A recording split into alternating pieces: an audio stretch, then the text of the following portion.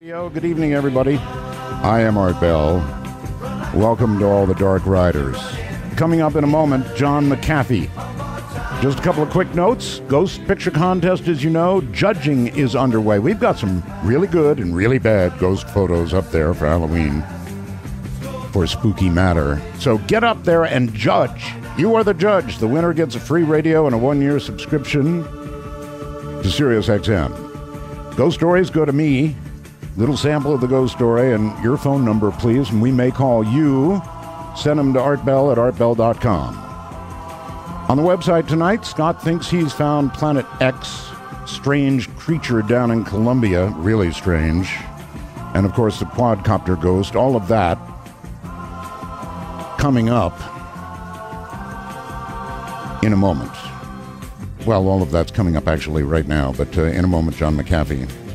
If you're listening to this program on a computer, sitting at a desk somewhere, chained to the desk somewhere, then I've got a really good idea for you. It is the FM transmitter 2 made by C. Crane Company. It was a broadcast transmitter in essence. In other words, it broadcasts whatever you put into it onto every FM radio in the house. So instead of being chained to your computer, you simply plug in an audio plug to this thing set, you know, whatever frequency you want on the FM band, and voila, every radio in the house has the program. So, um, how much? Forty nine ninety five. That's really cheap for this. Really cheap. Powered by an AC adapter, runs on a couple A battery, double A batteries as well. And it gives you freedom. So, so much freedom. In fact, you know, I thought so many people have Sirius XM in their cars or trucks or whatever. You could even take this out to the car and sort of rig it up a little bit. Remember not to put that extra 30 inches of antenna on it for super extended range. You're not supposed to do that. But you could put it out in the car and it would broadcast into the house. I mean, there are so many good uses. It'll broadcast whatever you put into it. 800 522 8863 is the number. 800 522 8863. C. Crane Company. See them on the web at ccrane.com. And uh, such a bargain you will not find anywhere else. So, we're going to take a brief break, and when we come back, we're going to have quite an interview, I sense. John McAfee. Been wanting to talk to John for a long time. I had McAfee antivirus software in my computer, and so I've wanted to have a talk with this man. Kingdom raised here in the U.S has been employed by NASA's Institute for Space Studies, UNIVAC, Xerox, Computer Sciences Corporation, and Lockheed. While employed by Lockheed in the 80s, McAfee received a copy of the Pakistani brain computer virus and began developing software to combat viruses. In 87, he founded McAfee Associates, a computer antivirus company. Around two years later, he quit Lockheed and began working full time at McAfee Associates. He remained with the company that he created until 94. He continues his uh, entrepreneurial ways to this very day with various tech related ventures, including one of the latest, Decentral. I love that name, Decentral. A pocket sized device that would, in theory, make it difficult for governmental agencies to snoop on your online activities by creating so called floating networks. I would assume uh, included in those would be the big NSA guys. All right, so John McAfee coming up, and I'd like right at the start of the program for him to perhaps admit some personal shame. Well, well let me phrase that. Uh, admit that, that he killed, no, murdered in cold blood any number of computers with his antivirus program. Uh, how about it, John? Well, hello, Art. Uh, that was quite an introduction, sir. I thought, we were going, I thought it was heading in a different direction, which is yeah. fine with me. I'll, I'll, talk about anything. You see, that gets my guests' um, adrenaline going at the beginning of the show. You bet. You bet. No, I'm, I, I, I want an answer to the question. Actually, I had McAfee antivirus, and you know what, John? When you wrote it in the beginning, um, it was good. It really was good. Um, but I kind of found that it did a lot of strange things after a while. It kind of got, I don't know, like a spider web into the computer. It was everywhere. Well, it's a very intrusive program these days. It's it's sort of like the uh, the corporation uh, which grew with it. Uh, you know, large corporations tend to uh, move slowly, uh, become bureaucratic, uh, oh, yes. take up space, uh, and do very little. So I think that's what happened to the software. Same thing. Uh, but okay. when I when I first founded it, we had 87 percent of the world marketplace, and it was it was a very efficient and, and fairly good program. It so was. I've had nothing to do with it for over 15 years, so I can't be blamed. Uh, on my guest section of the website tonight, I have posted the McAfee Guide to Uninstalling McAfee Antivirus. Um, and it's for adults only, by the way, folks. Uh, so be very careful who you show this to. But it's hilarious, and it demonstrates the kind of suffering that John was going through down in Belize, right, John? Uh, that's correct. I, I did that because the uh, the mainstream press had uh, had such fun, uh, you know, attaching names to me: paranoid and gun-toting, mm. womanizing, mm. Uh, mm. drug taking. So I thought, well, why not? I'll just make fun of all of that and, and myself at the same time. Actually, uh, John, that that works. People used to call me up and say I was in the CIA. I finally gave up denying it, so I started admitting it. well, why not? Why not? It's easier. You know, if, if you if you wear if you wear the labels proudly, uh, they they change character. So that's what I did, and it seems to have uh, done fine by me. Well, it leaves them speechless, which will do. All right. Um, so I do want to ask you about everything that happened. I really did follow your case carefully down in uh, with what was going on in Belize, John. Um, as much as you can tell me about the Belize part of it, tell me. Well, I, I moved to Belize five years ago. It's almost six years now um, because it's a very beautiful country. It has the uh, one of the most spectacular seacoasts, the second largest barrier reef in the world, and, and great jungles. Um, I did fine until I, I moved into the interior, which was very foolish on me. Um, and I, I did what a lot of Americans do. I think you know, even even subconsciously, if we don't think we're arrogant, I think subconsciously we are. uh, and I, I thought I understood the culture, but believe me, I, I did not. Um, mm-hmm. many third world countries are are based on principles which are alien to us in America. Um, you know, rule is by fear um, and the um, uh, every every other negative aspect of government uh, is is prevalent and and prominent. So uh, I was there for a short period of time, and the um, the local uh, politician came and asked if I would just give him two million dollars for his uh, reelection donation. In mm. return, he would give me a whole bunch of land and all sorts of benefits and who knows what. Uh, it mm-hmm. did not appeal to me. Uh, in um, retrospect, it, it's how third world, con- John. It's how third world countries work. I, I just got back. I'm 68 years old as well, by the way, John. Wow. So we're the same age, and I, I just came back from living in the Philippines for several years. I'm a permanent resident there. Oh, really? So I, I do understand, right and there, um, the corruption has been the way business is done. As long as you understand that everything has to be greased a little bit, you'll get along fine. But it's a heck of a way to do business alien to me, and I, I don't understand the principles of it. It's uh, it, to me, it's extortion, hmm. um, and well, uh, everything is, everything is coerced. And uh, if you don't like it, then you pay the piper.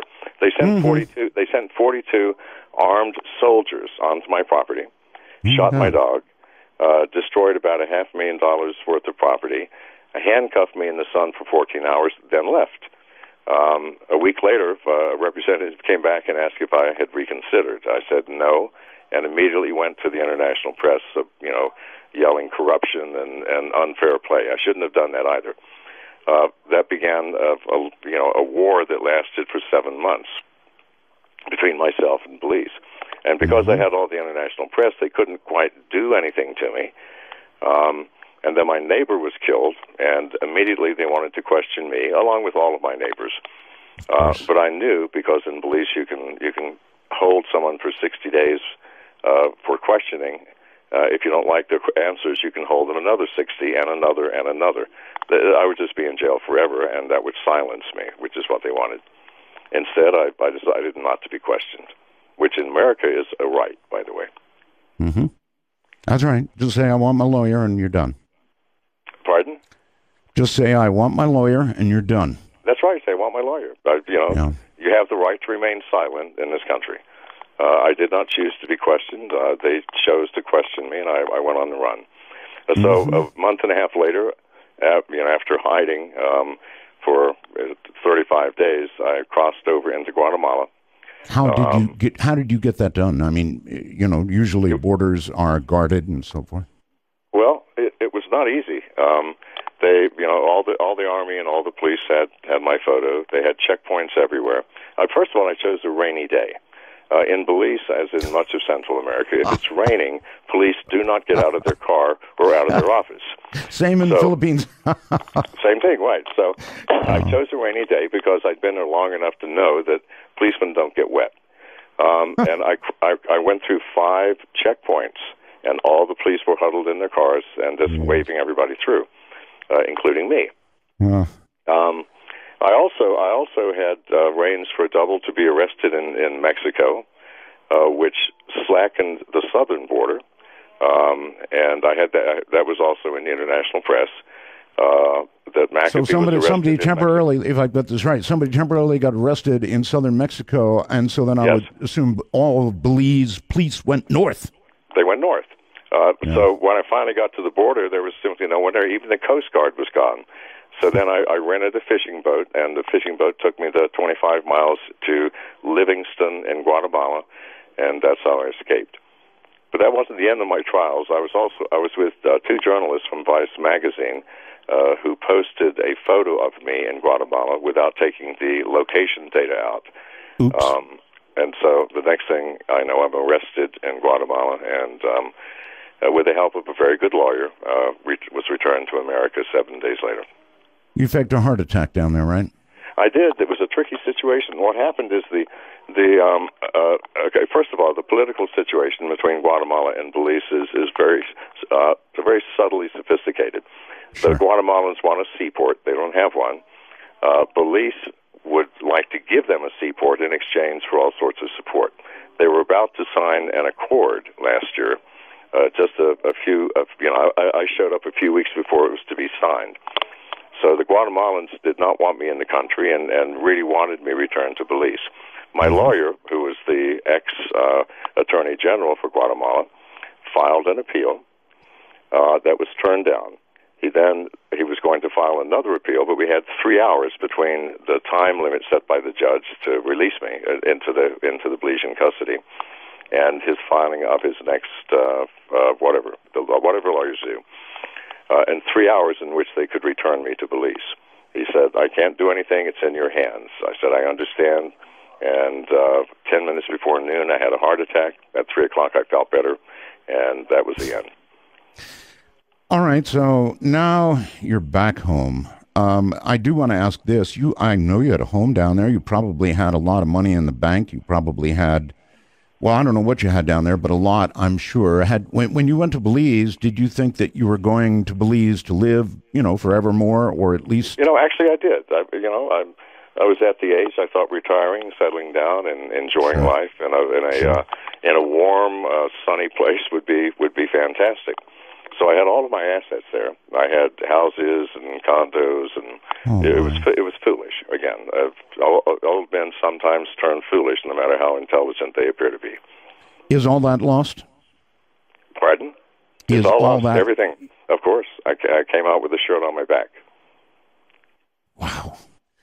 You know, wow. but, but here's here's something I, I, I truly believe. I think that that, that money is fairly easy to make. It's hard to hold on to, but but easy to make if you do yes. what you love and you put your full heart and mind into it. So, you know, I, I'm I'm I'm not remotely concerned about my future, uh, and I've given up any any hope of of collecting anything back from Belize, and just continuing my life. There is no possibility Belize can come and get you somehow, right? Well, I mean, not legally, of course. Uh, they um again, I'm not charged with anything. Um, in in America, I've you know I'm I'm a, a, a good tax-paying citizen. In fact, I paid way more taxes than most people. I'm afraid. Um, sure you did. And and there's no reason for America to do anything. Belize is not going to charge me with anything. They have no evidence, and and the police continue to say we have no evidence linking McAfee to the murder. We merely want to question him. Mm-hmm. All right. Do you I have any idea? I'm sorry. Do you have any idea who killed your neighbor, John? You know, I, I really don't. Um, you know, it, by the way, the the, uh, the assaults on rich foreigners in Belize is not an uncommon thing. By the way, Mm-hmm. um, it it happens all the time. I have no idea. Uh, he lived alone, um, and he was he was very wealthy. Um, he had no security guards, uh, which if it had been me, I, I would have had. Um, so it, it could have been anything, a robbery. Uh, who knows? Okay. Um, let's. But but I guess your attitude at that point was, look, they want me. They've already come after me. Uh, any excuse at all to get me is what they will use, and and so when you found out they wanted to question you, it was, hey, I'm out of here or I'm toast, kind of, right? That was it, and, and I truly believe that. I believe that to this day that I, I would definitely have been toast. I, not toast. They would have put me in a prison and renewed renewed the questioning order, you know, f- indefinitely, Again and again. All right. again and again. Uh, since you're in this business, um, it is really important, I feel, that I ask you about the NSA snooping that's been revealed. Yes. Um, so, do you, you don't have a radio on in the background, do you, John? That's right. Something back. Okay. Um, I'm hearing some sort of echo. That's weird. Anyway, um, NSA listens to virtually everything: emails, phone calls, I guess everything, and it seems like such a Fourth Amendment direct violation to me uh, that I thought I would get you to comment on it yourself. How do you feel about it? Well, you know, first of all, Art, it's not just the NSA. Keep in mind there are 17 covert agencies within the U.S. government. There's the the uh, NSA, the CIA, the FBI.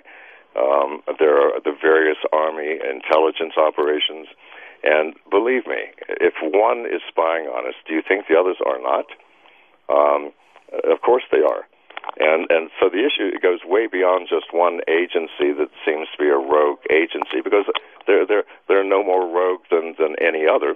They have the technology, so does the CIA. Uh, they have the need, they think, so does the CIA and others. Um, so I, I believe it's it's more widespread than we know. We know about the NSA because of Edward Snowden. Uh, we need a like person in, in all the other agencies, and, and I think the truth will come to light. So the problem is, is magnitude. It is magnified by the, the number of agencies that I believe are, are snooping on us. Uh, number two, I, I, Oh, I like, let, let me ask about Snowden uh, before it gets away from me. Yes. Uh, the obvious, uh, always a- asked question: hero or traitor, or something in between. I mean, if he had, I, if he had done what he did and then just turned himself in, said, "Okay, here, cuff me," would have been one thing. But then off to communist China, off to Russia. Well, uh, here's here's the issue. Uh, I, I don't think he went to communist China. He went to Hong Kong, which uh, well, that's true. It is Hong- communist China now. It really is, yes. Yes, you're right. So, um, but but here's the issue. He did us all a favor, did he not? The, the the general public. Let's forget about. Let's separate government from citizen. Um, didn't he? He told us something that we needed to know, right? Right. And from that from that standpoint, he was a hero. Now, having done that, uh, what what would you have him do? I mean, the government would, of course, want to, want him to turn himself in. But as someone who's done me a favor, I just wish him well. Uh, it, it's hard to say. It depends, you know, um, for the uh, the law enforcement agency, well, he's he's a criminal, um, but he, he did a heroic thing. And I'm, I'm well, guessing he would have been questioned for many cycles of 20 hours. I'm sure he would have been, and it may not have been pleasant. And and in Right. spite of all of the Geneva Conventions that the U.S. has signed, I do not believe that that torture is absent within our government. So, in any case, I you know I wish him well. It was a Uh, mistake going to Russia, however. I would not have done that. Right. Okay. Uh, let's see where to go with you now. There's so much. Well, you're working on something that, if it works and if you're allowed to market it, would thwart agencies like the NSA and, as you mentioned, perhaps many others from spying uh, on us. Um, how far along are you? Well, we're we're pretty far along with the design. Um, uh, uh, you, you mentioned something about will the U.S. allow me to to make it? Uh, that's a very very deep question right now. Uh, keep in mind that, that there there are many rationales that the government uses for for stopping progress. Uh, one is well, it could be used for uh, ill will. It could be used by criminals. It could be used for negative purposes. Uh, but that's true. Uh, because if it's that secret, then criminals could use it to uh, to pass criminal information. Uh, however, people use the telephone for the same thing. Uh, we don't get rid of telephones. Um, right. it, it's it's questionable, but the world is large. If I can't sell it here, I'll sell it there. So. Oh, I, actually, I think you'll be able to sell it everywhere, black market or otherwise. It'll right. it'll get out there. Right. Um, but I think I think it's needed. I mean, it, it it annoys me to think that everything that I do, everywhere that I go, even in the privacy of my home, perhaps, that someone could be watching me. I mean, that that that simply is not um, a a pleasant situation for the American citizen to be in, and we're all in that situation. Well, uh, we are, and in fact, is it not possible, John? Uh, to remotely turn on cameras, perhaps in computers, perhaps in telephones, um, or whatever. Uh, in other words, are our gadgets possibly our enemies? Well, of course. In fact, it's very trivial. And anyone can buy keystroke logging software, which is software that if you could surreptitiously put it on someone's computer, it mm-hmm. will then quietly monitor every keystroke that the user puts in. You can also have the camera turned on or the or the mm-hmm. microphone and then you give it an address, and it will send all that information to you. You can buy that off the shelf. Um, people don't even, people are not aware of how easy it is to spy. So if we can buy it, then you know the NSA, the CIA have techniques of of putting it into our systems without even coming into our home or coming in contact with us. Uh, so yes, and that's that's a very scary thing. I, I don't I don't leave my laptop open. For example, I close it when I'm not not using it but many people will leave their laptop open all the time. Here's another thing, Art. If you use, for example, the Bank of America uh, banking application, right? When you when you agree to terms, you need to read the terms because one of the terms is the bank says we will use your camera and your telephone services, uh, and you're giving us permission. We do not have to tell you when we're doing it from now on. Now, I understand why for the Bank of America. Let's assume you're doing online banking, and you you empty your account, and then you say, "Oh, it wasn't me. Someone stole my phone." Mm-hmm. They can say, "Well, look, it looks like you're here. We have a picture of you." They um, really can do that, and they are doing that. They are doing it. So check it out. Download the app and check it out on Android phone. On every Android phone, the Bank no. of America app. It specifically. No one reads the terms and conditions. No one. Um, but if you if you dig into it, it'll say you you give us the right to use your camera at any time we choose, and to use your your uh, phone services, meaning they, they can call in and out any time we choose, because they have to send the picture to themselves, right? Um, so if you're in bed with some girl, if you're yeah, I'm sorry. If you're in bed with some girl that you want to yes. impress, and you say, "Honey, look at this. Look at the kind of money I've got socked away in the bank," click. Right. Right. Bad. The bank is for sure going. if you're if you're moving money around, it's for sure going to take a photograph. Yeah, you're not going to know it. Wonderful. You know, and in the first response of everybody, we do not have to. We do not have to tell you when we're doing it. Oh God!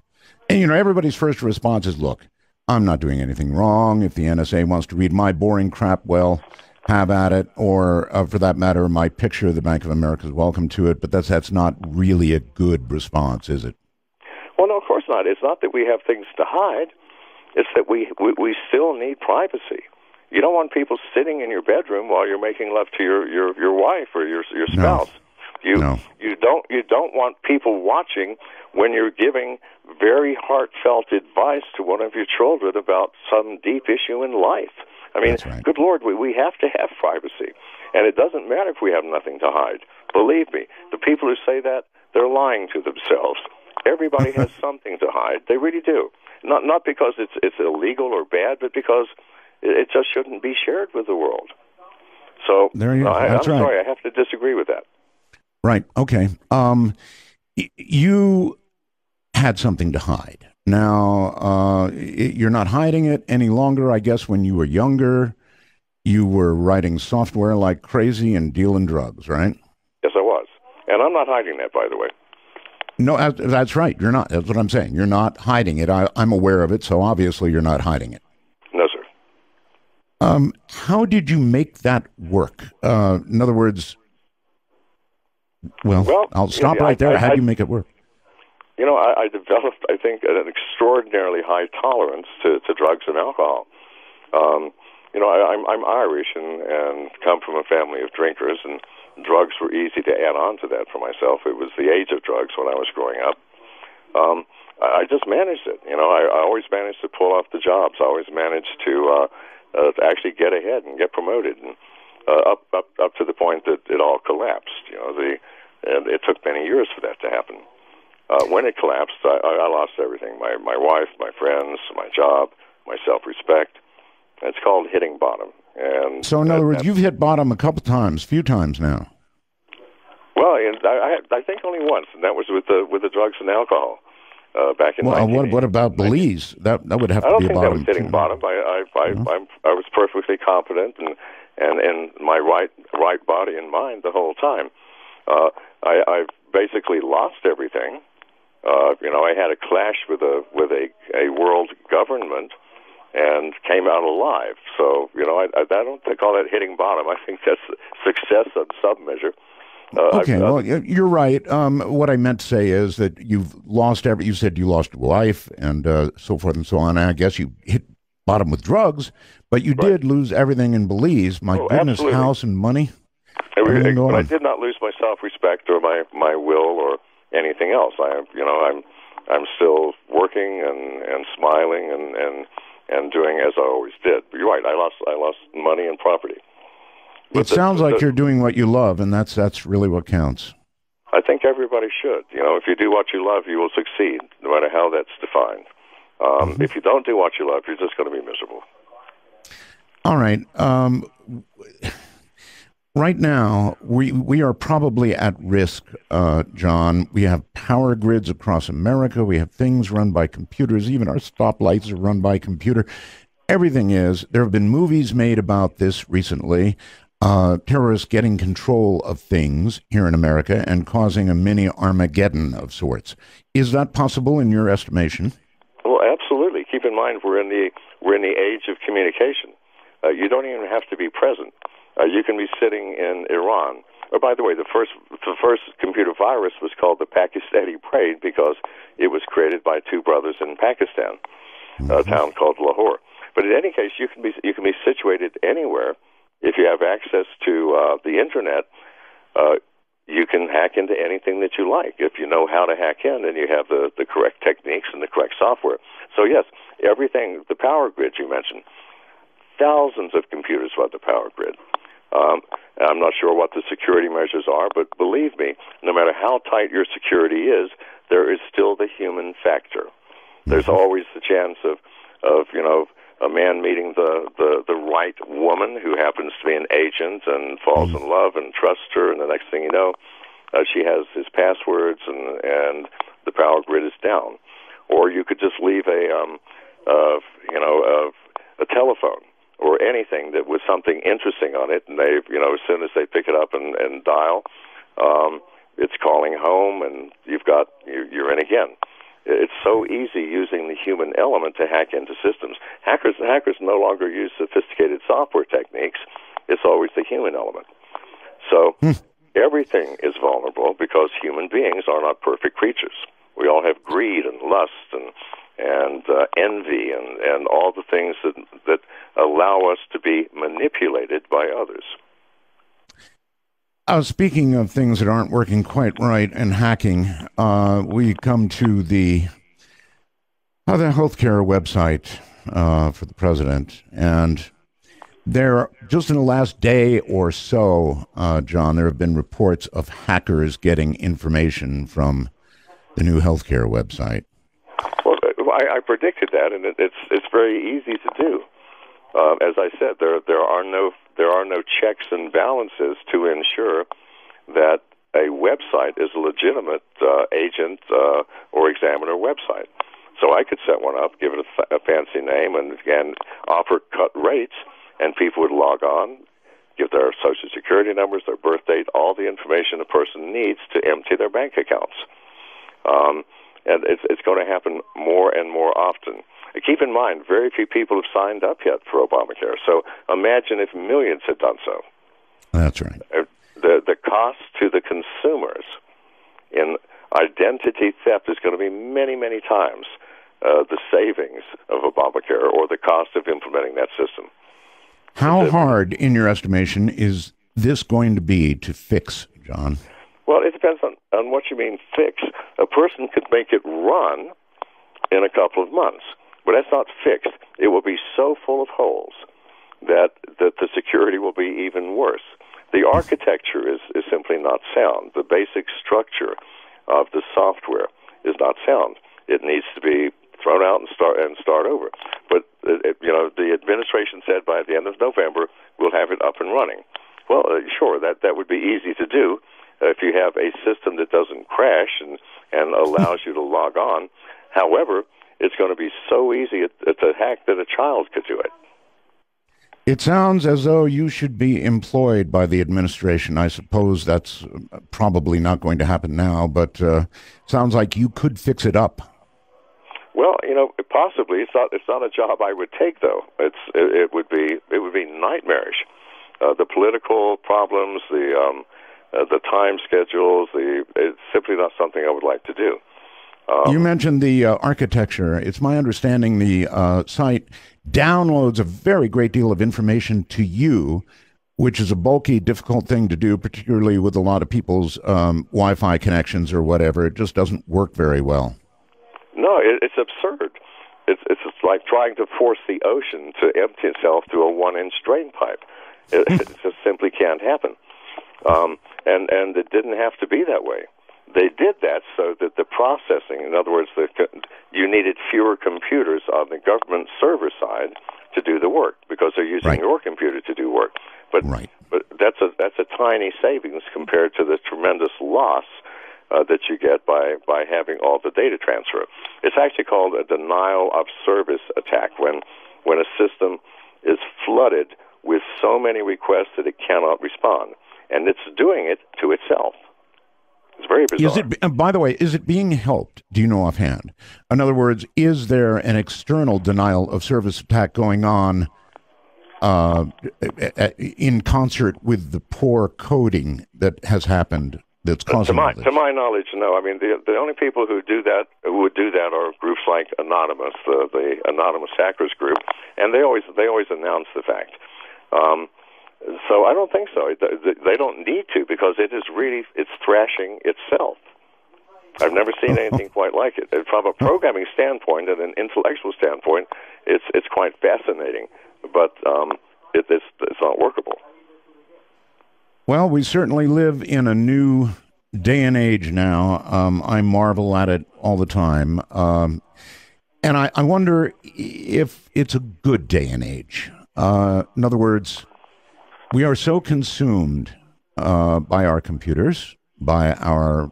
I've got a you know iPhone five on my side, and you can spend an awful lot of time in them. Uh, it seems to me people are spending so much time with them, John, that there is very little personal social interaction going on.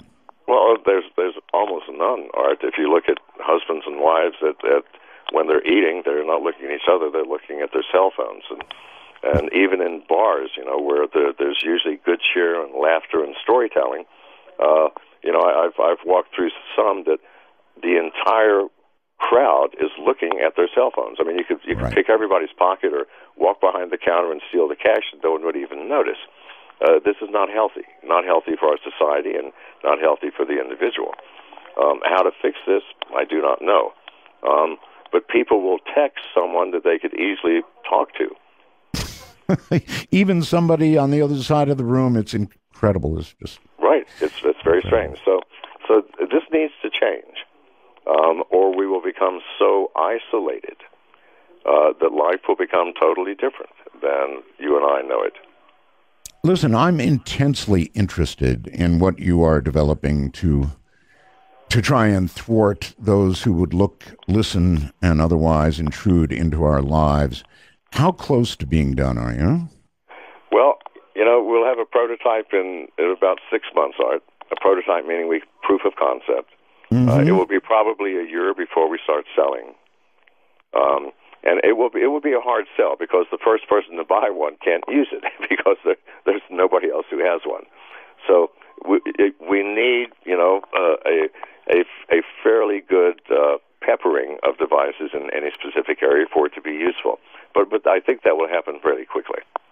And Is this kind of a modern uh, a modern PGP? Yeah, it's it's more than just private. It's, yeah, it's pretty good privacy is is, is sort of an encryption algorithm. Mm-hmm. Um, but this is an encryption algorithm and a network which is not defined. It's completely undefined and, and changes constantly. Um, hmm. And and so the the file transfers, the uh, uh, the data transfers cannot be traced. You don't know where a file came from. You don't know who who got the file that you put in your public space. Uh, if you do send an email to someone, if like you want to send a juicy email to your to your spouse or your lover, uh, mm-hmm. no one can ever read it because no one knows where it, where it came from or where it's going to. It's a it's a very unique system. Um, you got on the wrong side of the Belize authorities. It seems to me this device is just bound to get you on the wrong side of the authorities here. Well, you know, not by actually building it. I mean, unless they say you can't build it, and if you do, we're going to put you in jail. I mean, it will it will tick a lot of people off. Art, of course, it's going to it's going to tick off the uh, the music industry and the, and the movie industry and and certainly the the covert agencies within the government. But you know, what can they do other than audit me every year? Uh, and they will. that's, yeah, that's unpleasant. I know. I've had that happen. So, um, but, but other, when, that, when you I, get I to our age, John, when you get to our age, you know, at some certain point, you say, "Bring it on." right. That's that's my attitude now. Bring it on. uh, you know, it, it will make my life interesting in my declining years, at least. So, yes. Um, there you have it. Well, at least here, uh, John, you remember you can say, um, "I want a lawyer," right? Oh, um, because I'm not sure of the answer myself. I, when I was a child, I could have answered this easily. The question is: Is America now, in your estimation, the greatest country in the world, or not? Well, you know, that's sort of putting me on the spot here. Um, yes. It was certainly the greatest country in the world when I was a boy, there, without a shadow of a doubt. That's how I it feel was, too. It was po- it was post-war America and large ca- large cars with fins and everything was possible, and the world was infinite. Um, and um, it has certainly changed. You know, is it the greatest country in the world? I I I, I don't have much to compare against. It is certainly it is certainly um, preferable to Belize. Um, but I think I think we've lost we've lost a lot. We, we've lost our competitive edge. Uh, we've lost privacy. What we've gained is fear. We have we have we have lost a lot of personal freedoms. Uh, we used to be able to get on an airplane and, and fly wherever we wanted and get off. Now you have to get halfway undressed and stand in line to be scanned. That's right. Um, we have we have uh, the country was founded on the principle: give us your poor, you're disenfranchised. Now it's impossible for someone to get into America uh, mm-hmm. if you're not in, if you're from outside the country. Oh, it's right. it's changed. It's different, and it's not not comfortable for me. Uh, that's the best answer I can give you. Um, well, I guess I can read pretty carefully between those lines. Um, do you think that it would be a good idea for uh, the American people, when they're young, to, for one reason or another, get the hell out of the country for a while and experience another country before coming home? Yeah, absolutely. That's one of the things that that that we do less of than almost any other uh, developed country is travel. Well, you know, we with the, of course America is a large, beautiful place, and there's a lot to see here: Grand yes. Canyon, Rocky Mountains, two oceans. Um, but but really, and, until we, we we see how other people live in their daily lives, mm-hmm. uh, the, the way their governments are structured, their transportation system, their food. Um, we, we, we can't really appreciate or, or disappreciate our own country. And also, when Americans travel, unlike other uh, countries, uh, we expect everybody to be American and to speak English, right. uh, and and to accommodate to our needs. But it, the world doesn't work that way. Uh, the Japanese don't come over here and expect us to speak Japanese. Uh, neither do the Russians or anyone else. Uh, they take the the, uh, the the good graces to learn the language and and try to speak it, no matter how poorly. Uh, we don't do that. Um, we we have an, an an arrogance which is not deserved. Um, do you think we've become soft, John? Um, you're, Well- you're the same age I am, so you can you can kind of look at it and judge for yourself. I, I again, I go back to Philippines. That's where I was. Uh, those people can be completely flooded.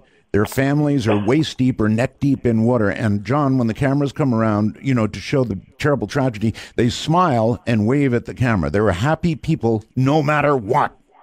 because they're still alive, they're still breathing. They understand the value of that. Um, well, here, you know, in America, if if you're online in a chat room and someone types something unpleasant to you, you might complain about it for hours. I mean, that that's the difference here.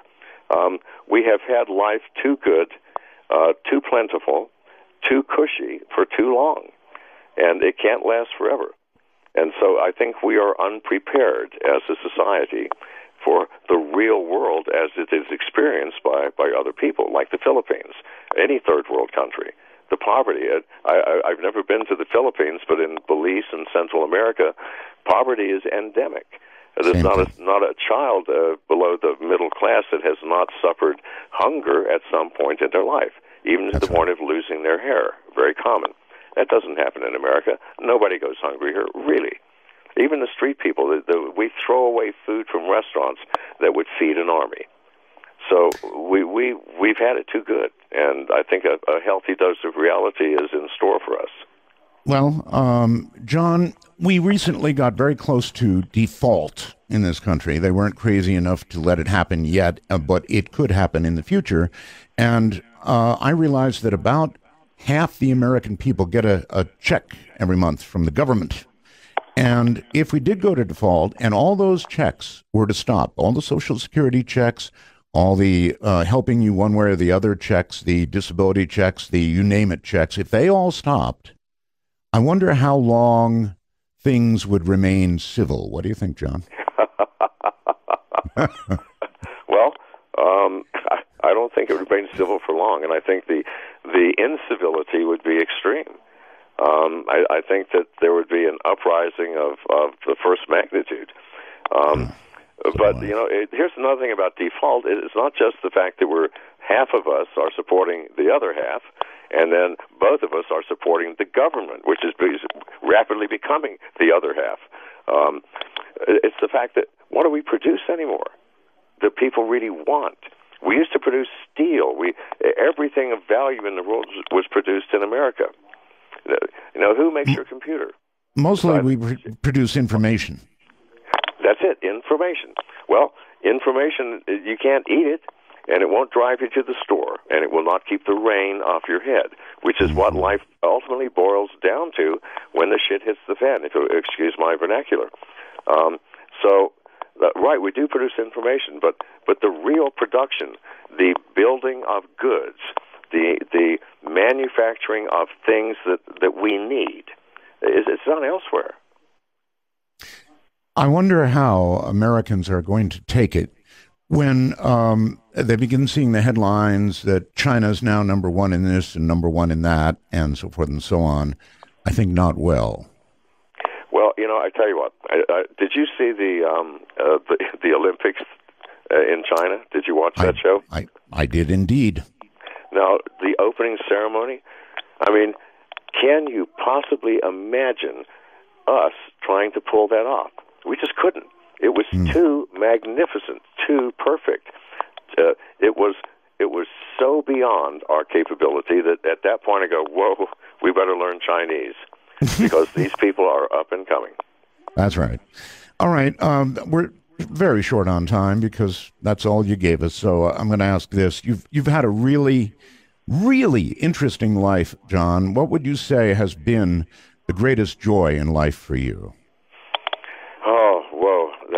That's a trippy one. Um, hmm my, my greatest joy is in is in being able to communicate and commune with with other people, people like me, people dis unlike me. Um, the young, the old, the the just communing with people. Isn't that what it's all about, really? Can you imagine what would life be if you were in solitary confinement, no matter how big a confinement was, uh, forever? What what value would you have? I mean, I know we all should love ourselves, and, and I do, but but we need people. We need to commune. We need to contact and play and and and and and have fun with humanity, our own species. And we're not doing enough of that these days. uh, what a wonderful interview. Short but wonderful this has been, John. I really, really want to thank you for coming on the program. And I hope sometime when you're in a nice, relaxed state, you can give us more time because there's a million questions I could ask. Yeah, I, I would be happy to, Art. It's just the, the reason I, I limited it to an hour is I have so many interviews this week that I, I don't even have time to sleep. But I would love to do a, a more extensive interview with you at a later date. Let's do that. Uh, John McAfee, thank you. Thank you, sir. all right. Well, wasn't that something? John McAfee is something. He's uh, quite a guy, and I'm sure there will be many diverse opinions out there about uh, Mr. McAfee, but I'm glad I had an opportunity to speak with him. Coming up now, uh, you know, there, even though I, I talk about scary things on the show, right? It's that kind of show. We talk about scary stuff. Nothing quite scares me right now as much as uh, Fukushima. I think Fukushima is a possible Armageddon. Not a complete Armageddon, but one bad enough that you'll call it Armageddon. And I will too. Coming up is Paul Gunter. And he is the lead spokesperson in nuclear reactor hazards and security concerns. He acts as the regulatory watchdog over the nu- uh, U.S. Nuclear Regulatory Commission and the nuclear power industry. He is a 2008 recipient of the Jane Bagley Lehman Award from the uh, Tides Foundation for Environmental Activism for his work on nuclear power and climate change. He has appeared on NBC Nightly World News, The Lehrer News Hour, BBC World News, and Amy Goodman's Democracy Now! He is co founder of the Anti Nuclear Clamshell Alliance in 1976 to oppose the construction of the Seabrook nuclear power plant through non-violent direct action that launched the U.S. anti nuclear movement. Prior to joining Beyond Nuclear, he served for 16 years as the director of the Reactor Watchdog Project for Nuclear Information and Resource Service. An environmental activist, an energy policy analyst, he has been an ardent critic of atomic power and power development for more than 30 years. Paul is a New Englander who was born in Mississippi. He was raised in Detroit, Michigan. Here is Paul Gunter. Hi, Paul. Hey, good evening. Welcome. Thank you. I've I've I've uh, really looked forward to being on your show at some point. So I'm really happy that it's happened. I'm happy it has too. And I had another nuclear expert on recently who was a very, very nice guy, but frankly was uh, pretty much pro nuclear industry. And I almost had the feeling a few times during the interview that um, if his own basement had been on fire, uh, he would have suggested to me that it was uh, not good, but uh, eh, not all that bad either, and it was okay where he was there in the living room. In other words, he was kind of on their side. And um, I, I, take it I'm going to hear the other side tonight. Fukushima scares me, Paul. Right. I've um, I've been involved with this issue since 1975, and so we've seen uh, steady decline. And uh, you know what started out as too cheap to meter is now too expensive to matter. and you know what was uh, originally described as the peaceful atom. Uh, we have saber rattling all through the Middle East right now, where Iran, who is a signatory to the Nuclear Nonproliferation Treaty, has said they want to pursue nuclear power for peaceful purposes. Mm-hmm. But everybody knows that uranium is the flip side of a coin where on one side it's nuclear power and the other side it's nuclear weapons. They are inextricably linked. If you spread nuclear power globally, you proliferate nuclear weapons. That's that's the basics. Now we have an aging industry that's uh, it's wearing thin, it's cracking, it's eroding.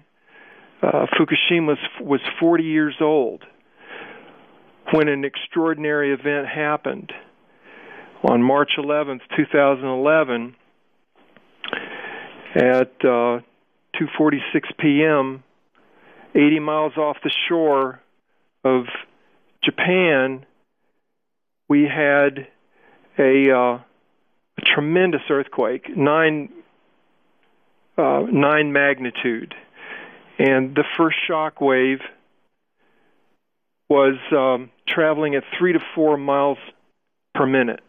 Mm-hmm. And it, um, but uh, you know, really, that's the primary wave of an earthquake. But there was actually even a quicker wave that preceded it that, that was picked up on the coast of Japan eight seconds after the earthquake started.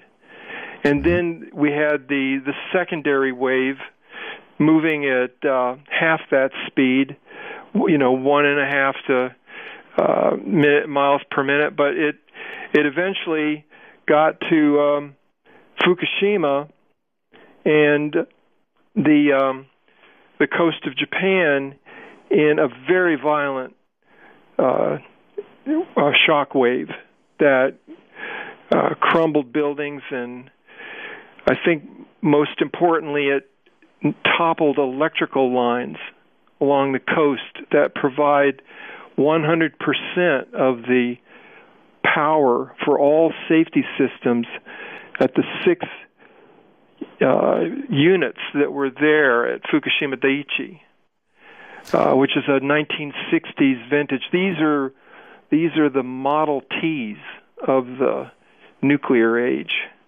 Some of the first reactors, certainly the oldest reactors operating today. We've got 23 of these Fukushima style reactors operating here in the United States uh, that are practically identical. And then there's uh, eight others that are very close. So we have about 31 of these, what they're called General Electric Mark One boiling water reactors, and a Mark Two uh, for for this other design. But but we've known since 1972 that if these reactors were subjected to a severe accident that the containment would fail. The uh, you know originally it was the Atomic Energy Commission uh, in a letter in September of 1972 from Dr. Stephen Hanauer, who was a senior safety uh, advisor to the Atomic Energy Commission, and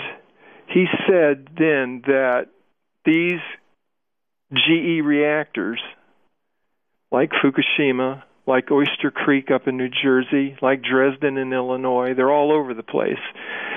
He said that the containments are too small hmm. and that they would be subjected to overpressure, over temperature, and fail fairly quickly.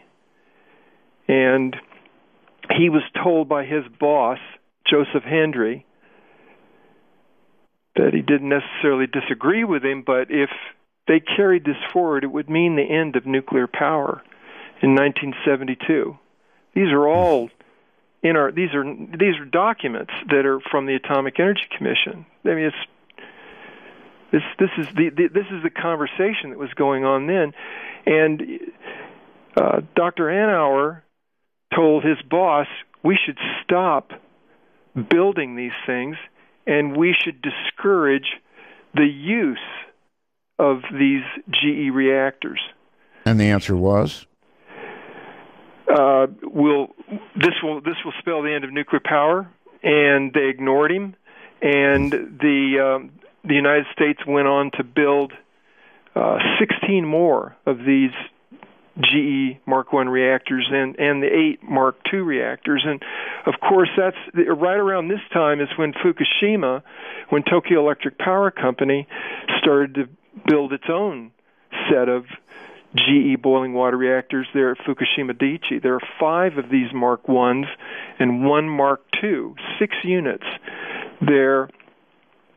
And uh, you know, typically, um, this industry is notorious for taking shortcuts. But I think that the one shortcut that everybody regrets and will regret for history to come is that Tokyo Electric Power Company shaved 80 feet off of the bluff that they built Fukushima Daiichi on. So on March 11th, 2011, a 50 foot tsunami came in and broke open the doors to those units, particularly units one through four into the into the turbine halls, right, and flooded the electrical systems.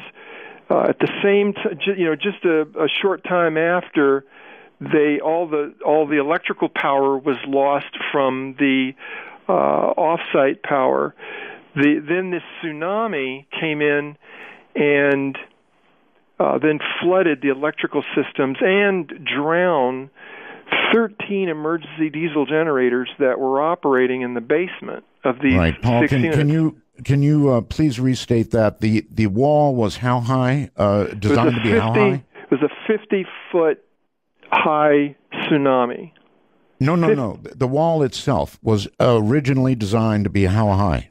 Uh, the well, the it's built. Fukushima Daiichi's built on a on a um, a bluff, right? You know, and in order to accommodate Tokyo Electric Power Company's to make the machinery to build this react these reactors easier, to make it easier to pump water, to make it less expensive to provide the cooling system for these six reactors. They shaved 80 feet off of the bluff and they brought the reactor down. They removed the natural tsunami barrier that was there, and and they predicted uh, in in this you know cost benefit action, so that they could shave some costs off their construction. They predicted that the maximum tsunami would only be 10 feet tall. Now we've got those kinds of assumptions if that if that 80 feet was still there at the time of the tsunami, would that plant have withstood uh, the very, earthquake? Very, very likely. Wow. The tsunami would have been below, but I mean, there was still, uh, you know, we don't. Uh, uh, again, Art, we're not quite sure what initiated uh, the whole accident. That's still being studied. Will be studied for decades, but it's going to be lack of electric power, right? There could the loss of offsite power. There could have been large break pipes in the facility from the earthquake, but the the killer was when that tsunami came in and wiped out the backup emergency diesel generators. They only had eight hours of backup from uh, battery systems. I mean, there are system, there are backups to backups to backups in right. nuclear power. Apparently, it, not quite quite enough. These failed within the first day, and and on March 11th, the at least we know Unit One uncovered the reactor core. The water level dropped and exposed the top of the reactor fuel and then the zirconium cladding that makes up these fuel assemblies. You know, it's it's a very strong alloy. Mm-hmm. But if you powder zirconium, it's that's flash powder for flash bulbs. It's it's used in high explosives. It's it's uh, it, if if it catches fire, it burns with what they call an exothermic reaction, so that it can chemically separate out uh, water into an explosive environment of hydrogen and oxygen, and it just looks for a spark right. at that point. So when um, you know, I mean, basically, it started out when they lost the off-site power. We had what a condition called all control rods in, or scram mm-hmm. as it's referred to in the industries. And they were scrammed right away. They were scrammed within seconds. Okay. It worked, is according to plan and design, and uh, so they be, they began shutting down. But you you don't just shut down a reactor like you turn off a light.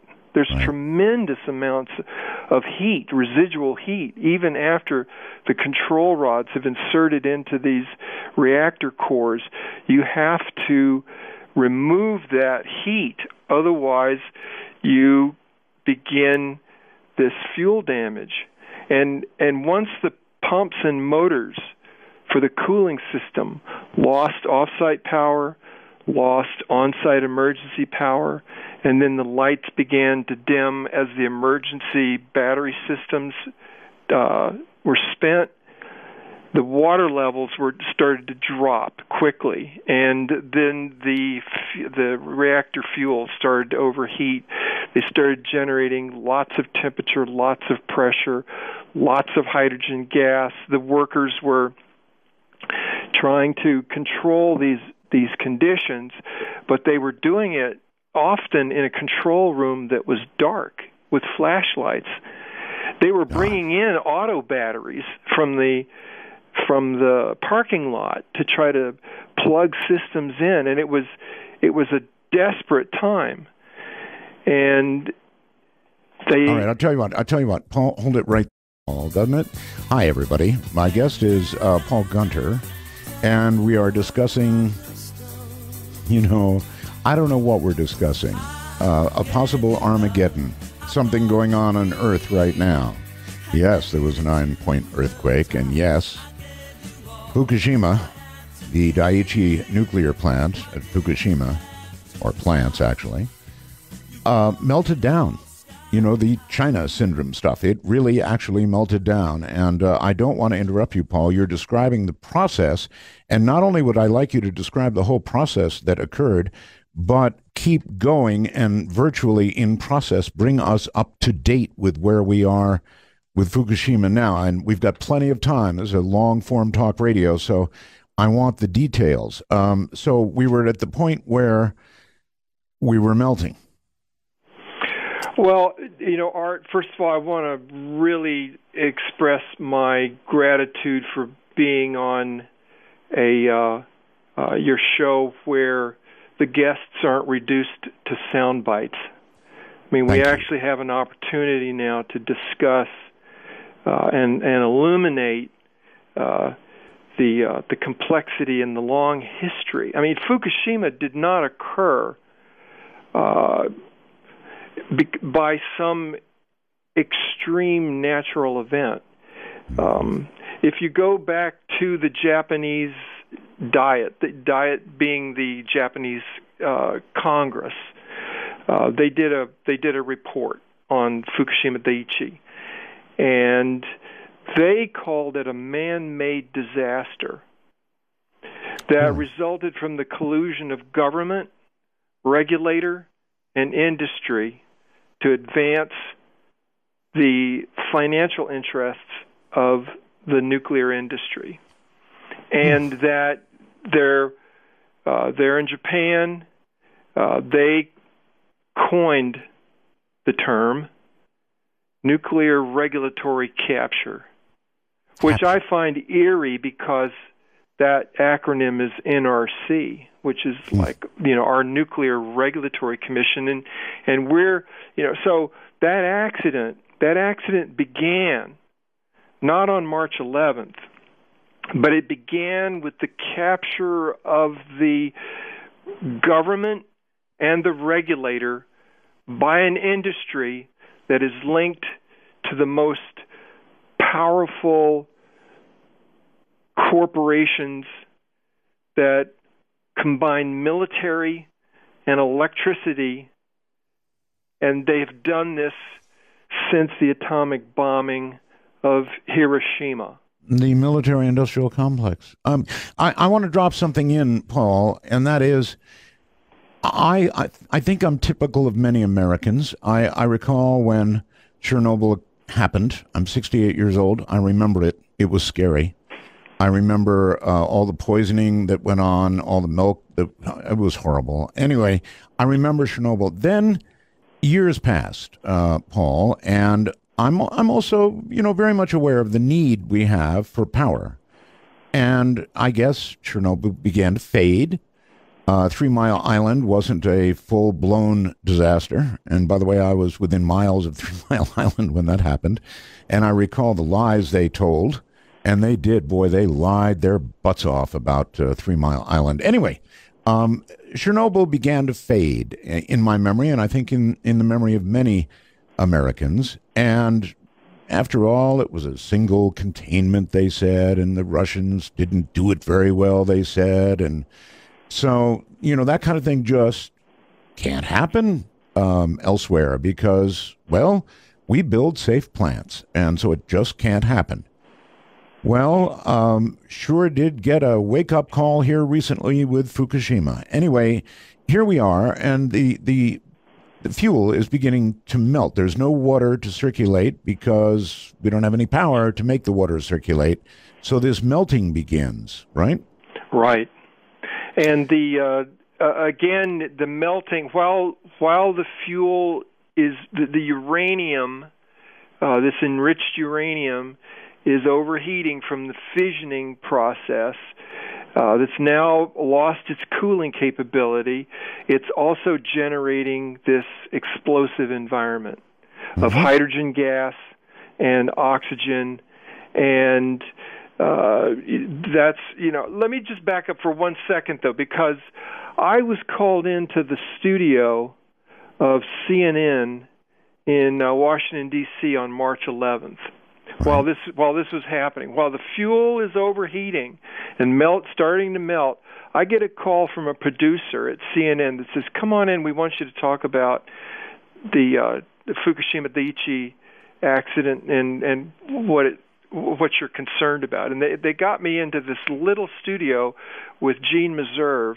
Um, it was a studio no bigger than a closet, and I've got this camera in my face, and she says, "You know, look, just in the, your simplest terms, tell us what you're concerned about.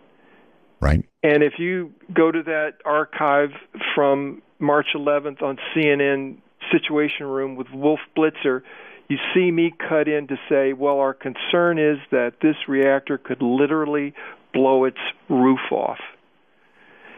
And it wasn't that I was a psychic or precognizant or uh, uh, anything. It was that we knew that this uh, this reactor was never designed for a severe accident, no matter what they tell you.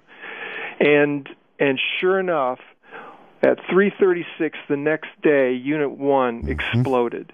Right, hydrogen, right? It was a hydrogen. It was you know the. Um, the the the the actual containment system for the Mark One is uh, it's what they call a pressure suppression system. It's one sixth the size of a the Three Mile Island containment. Mm-hmm. So it's it's it's a fraction of the volume, but they they fill it. Uh, it's a inverted light bulb uh, structure of st- uh, you know steel uh, one and a half inches thick. Uh, the reactor vessel sits inside that inverted light bulb. Then there are sets of large diameter pipes that run off that what what's called the dry well, that that inverted light bulb structure. It's 90 mm-hmm. feet tall. These large diameter pipes then run into an 18 foot diameter ho- donut shape that's filled with a million gallons of water, and all that steam and heat and pressure is driven from the reactor pressure vessel and vented into the dry well and then driven into this wet well, this million gallon f- full donut shape. And there it's the pressure and the steam are supposed to be quenched and and and contained. It's it's a it, you know it's a containment. That's what they call it. But we knew that it would never do this, and and um, so they they lost power. They overheated the fuel, and uh, on you know then uh, March 12th we have Unit One explode. On March 14th at 11 a.m. we get Unit Three exploding, and then on March 15th at 6 a.m. Unit Two explodes, and then 20 minutes later Unit Four explodes. Right from the, the these hydrogen gas generations. I mean, what you know, the the radiation now is is is just rising quickly. Um, there are areas of that plant where you, if you were there a few hours, you're dead. And um, you know, we've actually got transcript from the U.S. Nuclear Regulatory Commission from their meetings in July of 2011 in their review where they identified that fuel fragments two inches long were found more than a mile away from those rea- from that reactor site. So we didn't we had more than just hydrogen gas. We had core material ejected from those or one of those reactors, one or more of those reactors. You also got to understand that this GE design situates its nuclear waste from the nu- from the reactor core in a pool that sits above the reactor containment system. So it's above and outside. Uh, unit 4 had about 400 tons of high level nuclear waste, essentially irradiated nuclear fuel that was sitting in a pool uh, that uh, literally in the reactor building's attic. Mm-hmm. it's my understanding, um, uh, Paul, that um, uh, with regard to number four, they're about to embark on attempting to lift these um, fuel rods out of the location they're in now uh, with, I get some kind of crane apparatus or something, and and actually remove them. And there are how many pounds or tons of uh, of rods up there? Uh, about 400 tons. 400 tons. Yeah. My God. It's also my understanding, Paul, that if these are, this has to be done by hand. In other words, computers and automated stuff can't do it. It's going well, to have to be a human operation.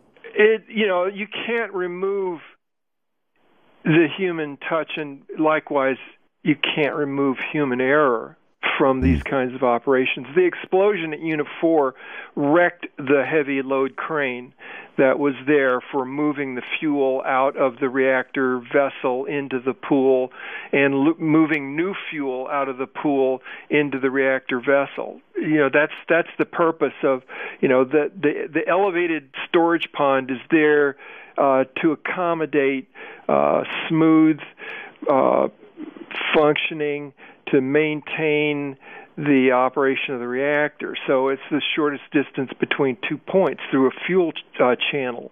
Mm-hmm. And um, but the explosion blew the top off the reactor, mm-hmm. and it wrecked the the uh, the heavy load crane, which fell onto the top. Um, so right now, in starting in November, we've probably got the most dangerous game of pickup sticks that's ever been played or contemplated. Um, yes, these ones it, being radioactive.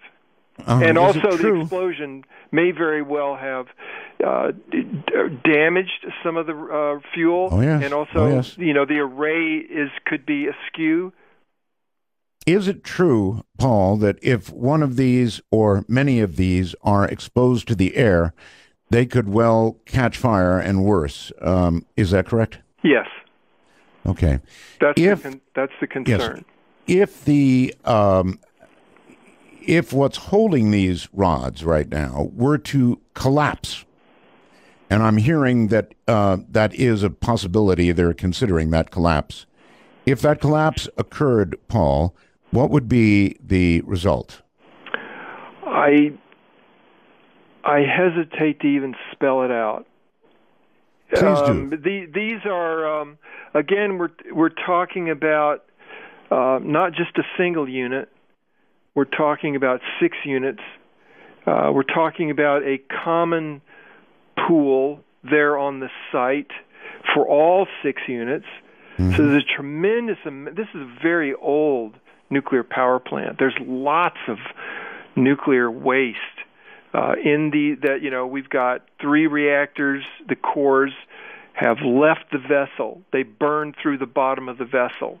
We don't really know where they are because it's the radioactive environment even fries robots that TEPCO's been trying to send in there. Really? So I had, I had they- not heard that. Yep, they have been sending uh, very innovative robotic machinery sensors in there to get a picture, to get a reading, and these things don't return. I mean, we have opened a door to hell God. that cannot be easily closed, if ever.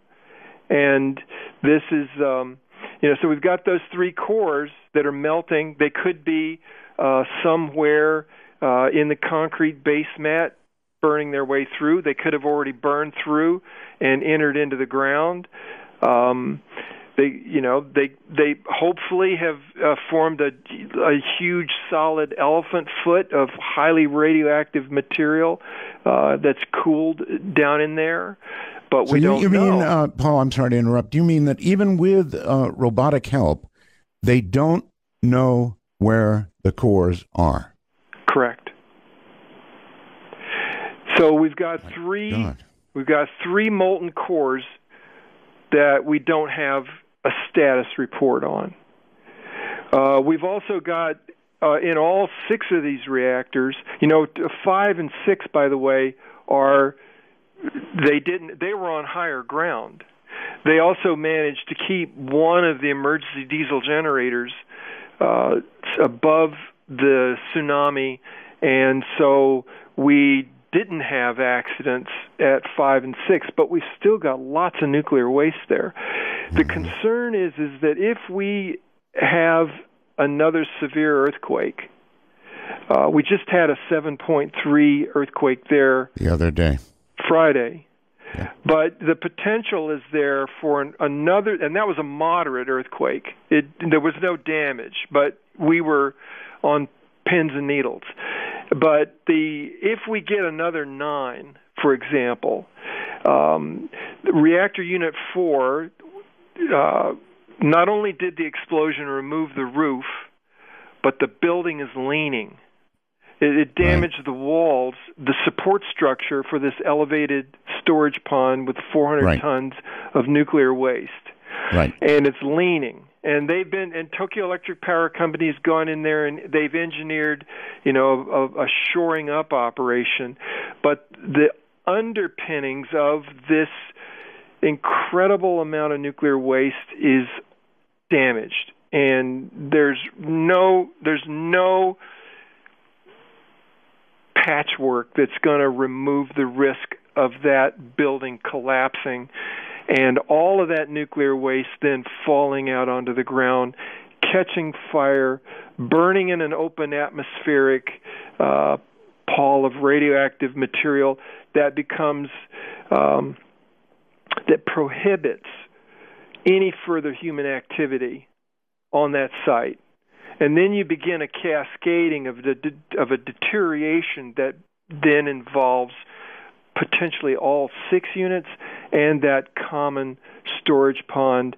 And th- this is the scenario that Prime Minister Naoto Kan saw in the early days, where he set into motion the planning process for evacuating 35 million people from Tokyo. It was so being if, if, contemplated. if yes, if that if that hits the ground and these rods are exposed and they're burning, um, what does that mean for Japan, and what does that mean for the world? It, you know, it's all going to be a matter of which way the wind is blowing at that point. and well, and well, this would also, be again, ongoing for a long time, right? It- be and- ongoing and for a long time. So the this- the winds yeah. would blow one way, and then they'd blow another, That's and then another. That's Yes. correct. And so it and and something like this could burn for a very long time.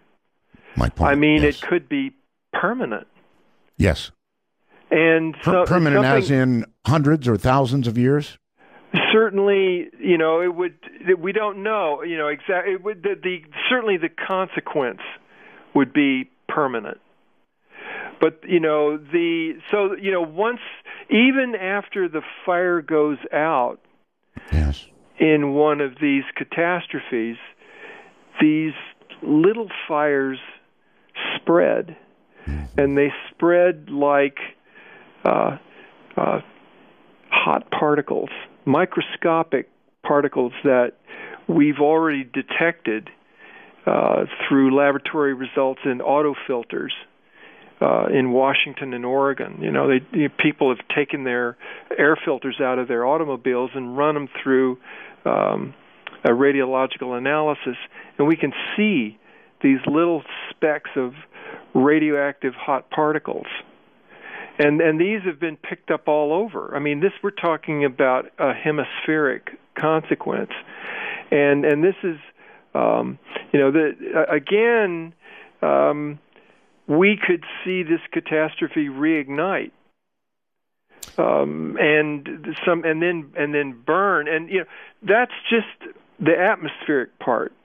We've also got 300 tons of radioactive water, three to 300 to 400 tons of radioactive water, literally a um, a river coming off of the mountains above Fukushima Daiichi, flowing underground in an aquifer that then mixes with the radioactive cores that have melted in, in in the basements of these things, and then, you know, TEPCO has uh, constructed a makeshift uh, filtration system that's pumping some of this radioactive water up. They're also trying to pump water uh, up out of the ground before it gets to the site where it gets contaminated. But we still have, right now, today, more than 1,000 uh, tanks filled with you know tremendous amounts of uh, radioactive water. It's like the Sorcerer's Apprentice uh, in you know in in megafold. Okay, well, I have heard um, people on Talking Heads and even scientists on, uh, as you point out, CNN and elsewhere, who have said, look, um, yes, it's bad, but you know what? The ocean is big, and uh, there's a, a very good uh, dilution effect, and uh, there's not going to be that much to worry about. Now, it, it depends. I, I'm worried about what's already happened, Paul, and how much radioactivity has already gone into the ocean and the effect of that radioactivity. Right. Any comments? Yes, the that is that contamination has been ongoing since March of 2011, and it has not let up.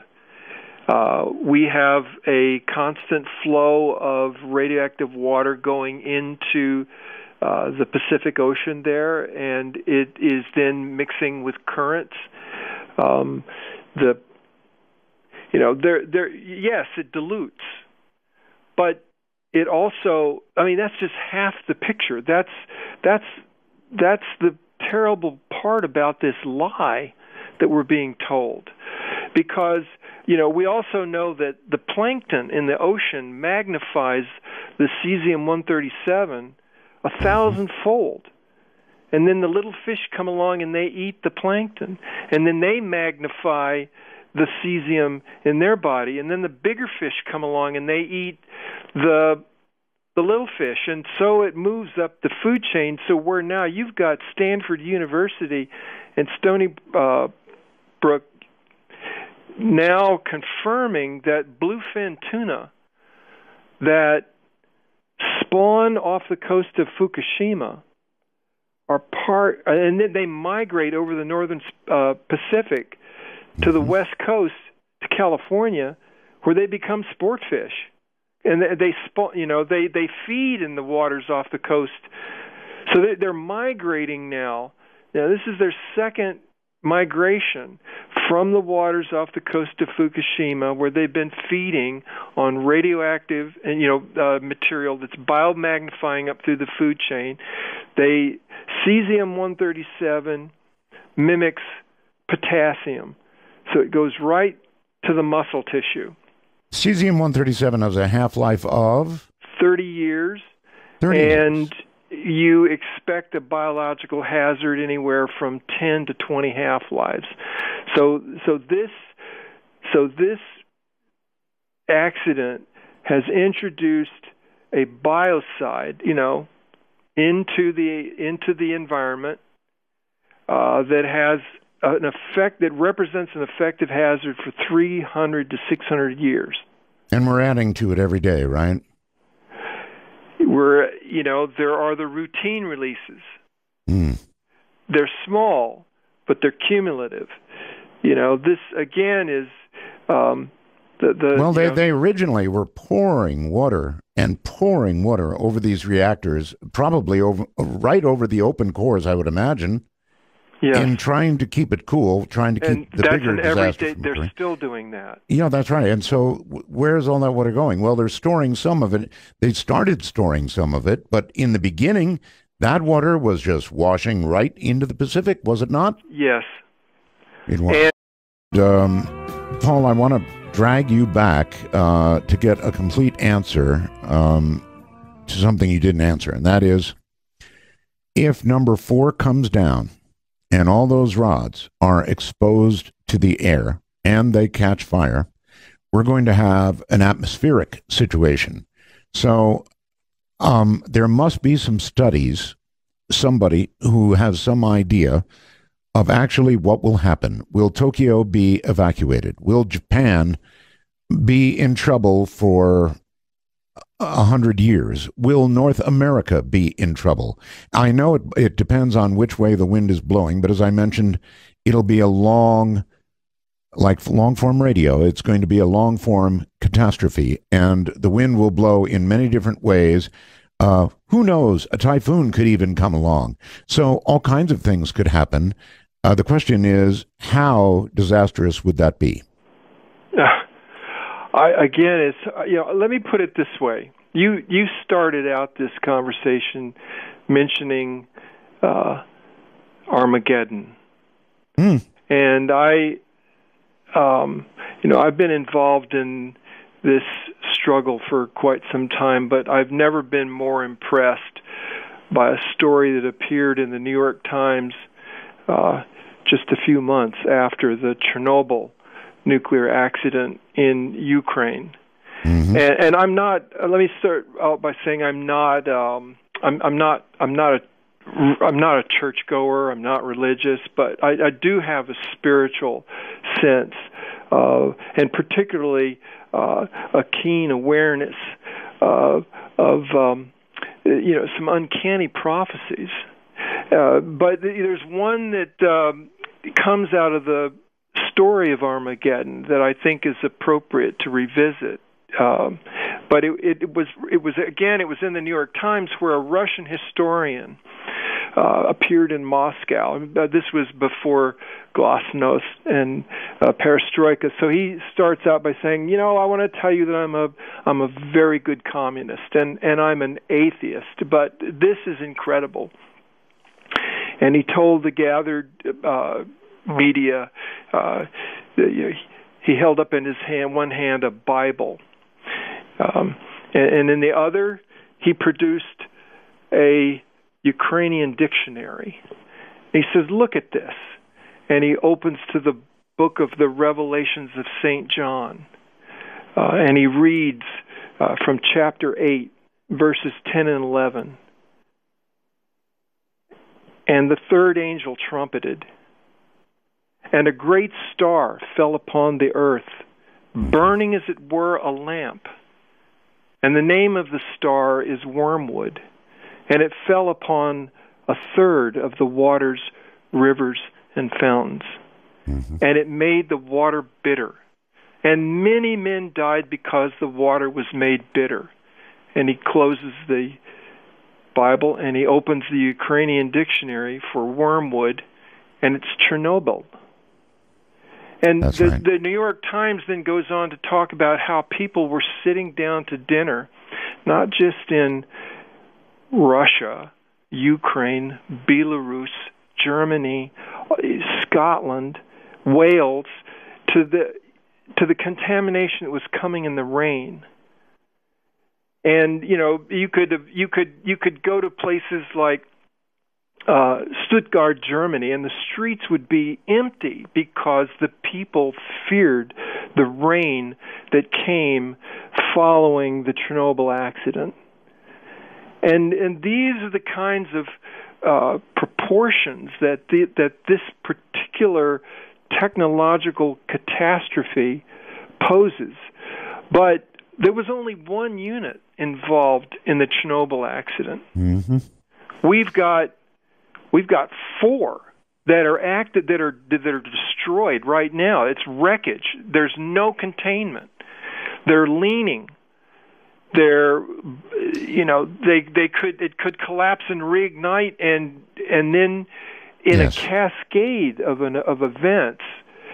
Um, we could see certainly, um, you know, tens of millions of people most immediately affected, and then the um, depending on the, fire, uh, the intensity, uh, it could be lofted very high, and even into the jet stream, and then that that that would circulate. Oh yes. and it would it would be it would it would precipitate. It would you know it would be it would be fallout. And um and it would linger and there's no cleanup to maybe this. you can maybe you can give me a a, a comparison uh, between Chernobyl as it ended up. It's got the big sarcophagus over it, um, and what we've got going on in Fukushima. Should number four fail, the building fail, and these things come tumbling down, um, e- either through natural disaster or through a man-made disaster, as they try and pick each one of these things up. I can't even imagine that, but worst case scenario, we've got a fire, we've got atmospheric pollution. How bad? Well, you know, again, it contaminates the food chain. Um, you know, people might. Um, I, I can't for I can't say that we would see prompt fatalities here in the United States. I, you know, I don't. I wouldn't expect that. Right? There, there might very well be uh, prompt fatalities in Japan. Yes, I was going to, I was going to say, let us begin with Japan. What would the level of catastrophe be there? It it certainly could. People would experience things like spontaneous abortions. Um, these are this is all clinical evidence, you know, from um, the study of the effects of radiation on the biology, and doses could get high enough that um, people on site would either die or be on a suicide mission to return to that site to do any work. That's certainly a concern. This is our major concern that it for that it would exclude all future human interaction with the disaster. What about Tokyo? What Mhm. about Tokyo? Again, uh, we've already seen uh, Prime Minister Naoto Kan uh, effectively begin the ev- the evacuation um, of Tokyo. Uh, that was that was part of the plan. That if as the as the disaster began to continue to unfold, um, following the explosions, um, which by the way contaminated the U.S. Seventh Fleet, that was uh, 150 miles off the coast of Japan, with the radioactivity from those uh, those explosions and the breaches of containment. Um, and then, um, but you know, there are th- there are these you, without without question, the clinical evidence is is that radiation causes cancer. Right. causes birth defects, Correct. causes genetic mutation, causes uh, spontaneous abortion. It um, causes heart disease. It causes immune deficiency. It causes failure to thrive. This is all evidenced in clinical studies. But you are hard pressed to do the forensics on a neutron particle going through your body mass to see if it is killing or damaging or disrupting your DNA. Those that kind of level, we you know we're still we're still working on that, but we do have cytologists uh, who have recorded the cellular damage from the Chernobyl accident, and this kind of damage can even skip generations without necessarily showing impacts. But when you damage DNA, you have uh, a deleterious effect, which means that you can't necessarily identify it, but it's negative. It's not good for you. You know, that's why we have housing codes that require radon measurements in your basement. But when you're talking about hemispheric fallout, this is going to have, you know, very widespread land contamination and generational impacts. Mm-hmm. What could they do? I mean, if number four went, they became exposed, they started to burn. Uh, what kind of response would even be possible? Well, you know, what we saw at Chernobyl were these um, m- the mobilization of the military to drop lead and concrete and graphite, you know, onto these uh, the, onto the Chernobyl uh, Unit Four, right. uh, into the open, you know, the the, the the the the building that was gone, you know, into Correct. that fire. They and and there's a lot of the pilots. Uh, you know, these are where some of the prompt fatalities did occur uh, from from Chernobyl. Those firefighters, those helicopter pilots uh, that basically looked to close the door on hell. This is what this would be the one of the scenarios that we would see um, probably come into play again uh, if Unit Four topples. But again, you know even then, even with those operations, we've still got food restrictions more than 2,000 miles away on um, uh, lamb in uh, Scotland and Wales, and you know you, mm-hmm. they graze upon the spring grass that com- brings up cesium 137. You know this 300 to 600 year biologic biological hazard comes up every year uh, comes into the ewe, the ewe's milk. The lamb concentrates the cesium 137, and the the meat is unfit for human consumption because it's ra- it's too radioactive. But you're talking about tea from Turkey. You know, we just had an event recorded last week. Blueberry preserves that you can get on a, you can get on the market here in the United States that were uh, from Bulgaria, uh, contaminated with cesium 137 from the Chernobyl accident in 1986, that got picked up in a radiological survey in Japan. So we still have.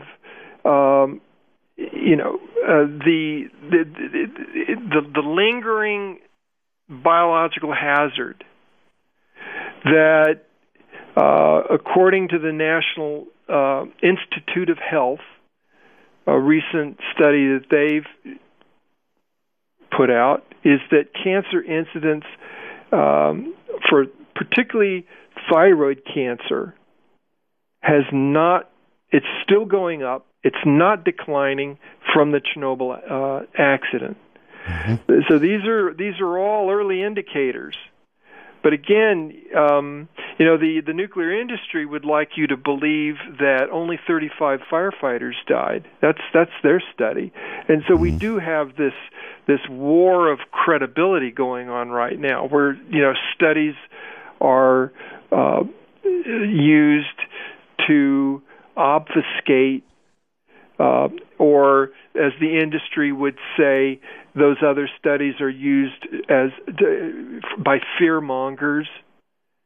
But okay, well, I don't want to be that, but I, I do recognize the the terrible situation in Fukushima, and if number four goes, I mean, after all, the building is leaning, it's sinking. There's every possibility that what I'm talking about could happen. Yes. If it did, Paul, if it did, um, perhaps you could give us an idea of scale. Would it be worse than uh, Chernobyl? It could very well dwarf Chernobyl because dwarf it. Dwarf it because it would involve multiple meltdowns, and more particularly, uh, you know, again, the scenario that we see and are concerned with is radioactive contamination that first precludes human intervention at Fukushima Daiichi. And then, you know, 30 miles down closer to Tokyo, you've got Fukushima Daini. Mm-hmm. And if the concentrations of fallout then spread down the coast to Fukushima Daini, then you have exclusion zones where human activity um, is restricted, uh, and if the fall, if the ground shine is is high enough, if you're getting enough gamma radiation out of it that it would preclude human entry. You know, these this is what this is this is the the domino theory that prompted Adano um, or um, uh, Naoto Kan to begin thinking about evacuating 35 million people from Tokyo. Unimaginable. But you know, this would be a um, uh, a catastrophe that would remind me of on the beach. Oh, on the beach. Yes, I recall. Nuclear war. Vividly on the beach. I mean, Fukushima's on the beach. It certainly is. And Fukushima could be everywhere. It's right on the beach. And it, yes, indeed, it could be everywhere. In fact, when this occurred, when that earthquake occurred, I was in the Philippines, living in the Philippines. And we thought, oh God, the fish are going to be not edible. And it's going to get to us first. But in fact, if you look at what happens from Japan, the air movement and the ocean movement move things toward North America, correct? Yes. So this is right. so horrible that it's it's actually hard to talk about. Um, I try to keep a I try to be an optimist about Um, this. I'm mhm. I'm concerned though because of the institutionalized lying that comes out of this industry. That Okay, yeah, let's there- talk about that a little bit, Paul, because if you look back uh, at Chernobyl, you look at Three Mile Island, you look at any nuclear accident that has occurred, there it is always surrounded by almost like a, a, a dome of lies that go around any nuclear incident. Why is that? when what we've seen, you know, and I've I've been through a few of these uh, from the catbird seat. That when they lose control of the reaction in the in these n- nuclear power plants, hmm they seek to control the information. So when they when the when the radiation the, their their primary concern is after they've lost containment of radiation is to not let the truth out. hmm to not let information out. We we see information lag. Um, Three Mile Island, March 28th, 1979. The plant experiences um, loss of coolant, core damage, uh, but it's not until days later that Governor Thornburgh advises pregnant women and children maybe you ought to get out of the area for five miles around this plant. And it's, oh. it, it, it, it prompted spontaneous evacuations of hospitals, staff, doctors, x ray technicians, you know, 25 miles away. They spontaneously evacuated on an advisory for children and pregnant women to leave. But that didn't come until days later. Following the Chernobyl accident, it wasn't the Soviet Union that notified the world, it was a Swedish nuclear power plant that picked up a radioactive cloud that registered on its radiological monitoring equipment I but it didn't that. it didn't it they knew and they were sophisticated enough to know that it wasn't their radioactive signature and so they traced it back and finally it the the truth came out. But you know Moscow let the May Day parades proceed in the open streets of Kiev to to hold back the truth of the melt the explosion and meltdown that was and is today poisoning the Dnieper River that runs right through Kiev and uh, the same is true for Fukushima Daiichi. You know, um, the the information we can't tell if they're simply inept or if it's deliberate obfuscation. but it is a pattern that eventually the truth will out. It's institutionalized lying by the nuclear industry that first told you that it was a peaceful atom as the fallout fell on St. George, Utah from nuclear weapons testing. You know, we knew, but there are documents, we've got documents now from 1952 you know, the peaceful atom got floated out in 1954 by President Dwight D. Eisenhower. But in 1952, right. the Atomic Energy Commission, in papers with Dow, Monsanto, Detroit Edison, um, Union Carbide, floated a proposal for dual purpose reactors where they said that it was time for corporate business America to merge with the national security interests to produce plutonium for nuclear weapons and use the heat to co-generate electricity. Hmm. That's what the Atomic Energy Commission and these joint white papers concluded that it could happen. But there were a lot of problems. Nobody could get insured to do this kind of work.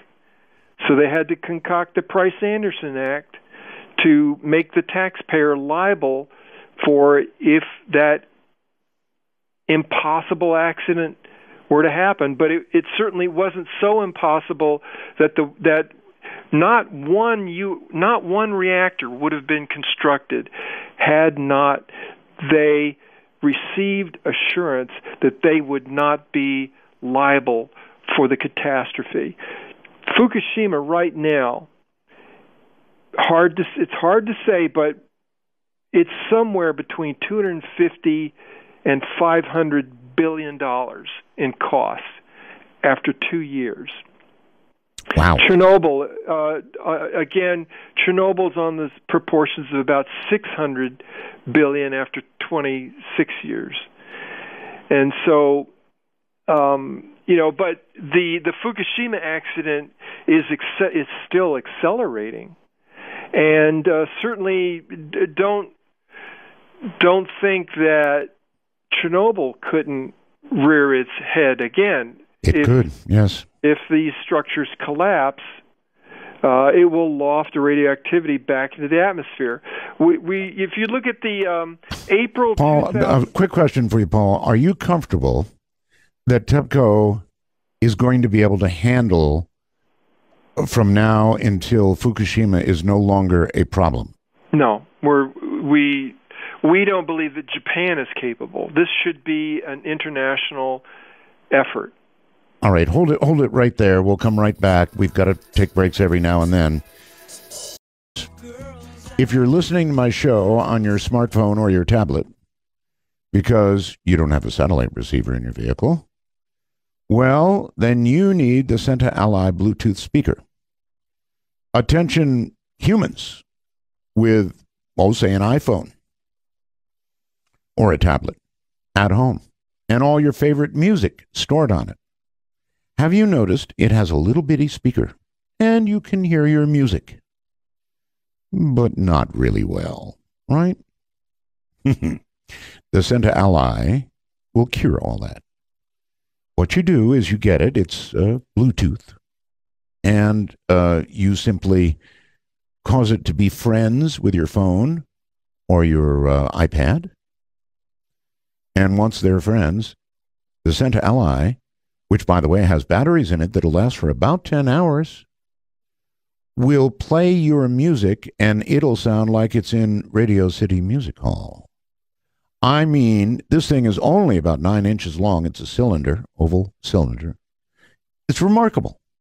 In fact, it's even got a built in FM radio, but best of all, it will couple by Bluetooth to anything with Bluetooth and repeat it in style.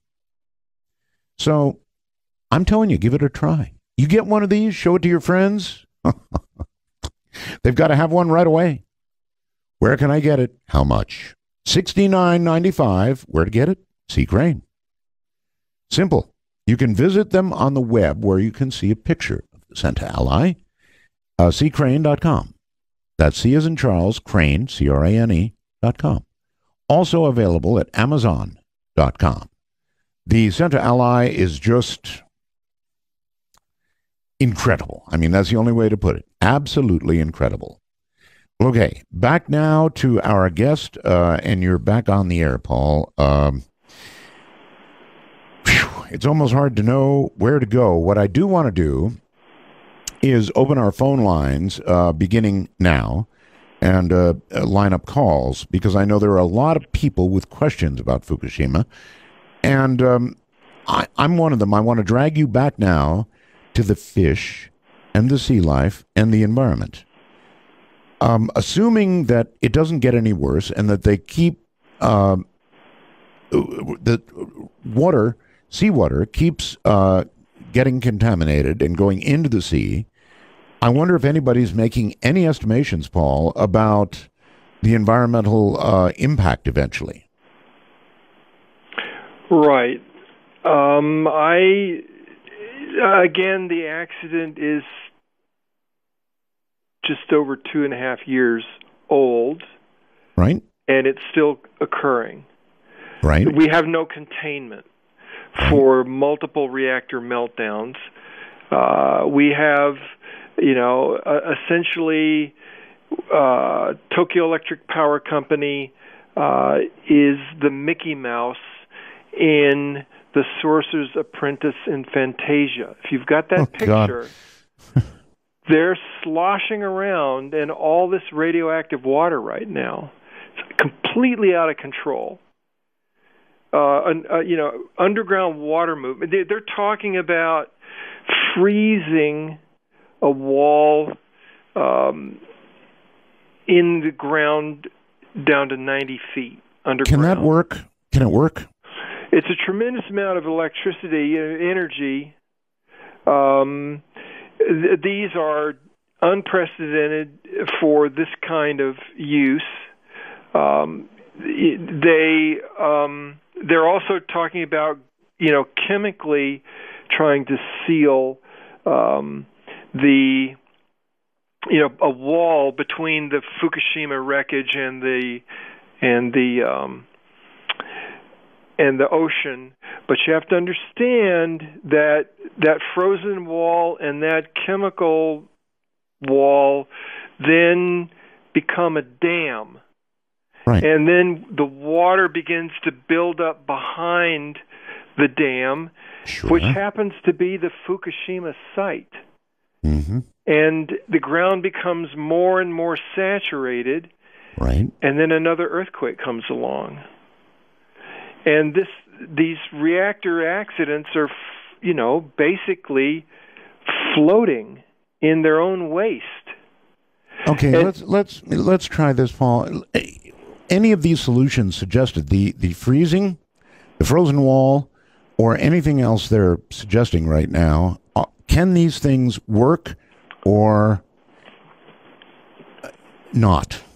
I, you know, the focus, the focus. These are all desperate moves. The focus right now has to be on uh, the most vulnerable. You know, the, all there are too many priorities here, but one clearly is this elevated storage pond with hundreds of tons of high-level radioactive waste that could tip over. We've got to get that. We've got to get those fuel assemblies out and they've got to be put into a secure cooling pond at surface so that we can get them down to temperature where they can then be loaded into what are called dry cask. Okay, Some it's my understanding this this process already has begun. I think around November eighth, they said it was going to begin. Are you aware of whether it actually has started? It's uh, it's scheduled to begin in November. We know that there are some dry casks that survived the um, the the earthquake and the tsunami. These are clearly temporary in themselves. You know, I mean, you can put nuclear waste uh, that's cooled uh, after three, four years, five years. You can put it into what looks like a Right. a, a thermos, and then you uh, get the air out of the thermos and you inert it with helium. Helium's a very effective heat transfer. So the the hot nuclear waste then can uh, transmit its heat through the helium to the thermos wall, and then that sits inside of a concrete cask that naturally ventilates. And so that's passive cooling, and you can seal these things. Unfortunately, we're seeing seals on these casks start to degrade after 10 years, even. Wow. This is All right. Well, in, in a sense, it's already begun. TEPCO's got a 273 ton mobile crane right now above the building, right? they've rebuilt it. They've rebuilt it. So that that's the original one that was there? It's not the it's it's uh it, it the original. replaces the one that was wrecked in the explosion. Okay. And then they're going to have they're going to have to remove fuel rods one at a time, very carefully. How do they how do they keep them from catching fire as they're moving them? I'm They will put them into um hot what they call hot cells and uh they will spray them with water and you know they will they will keep a cooling operation going as long as they have power. And uh, you know I one of the main concerns is going to be again this is like pickup sticks. You know you pick you touch one and then the other ones that lean or support it they move too.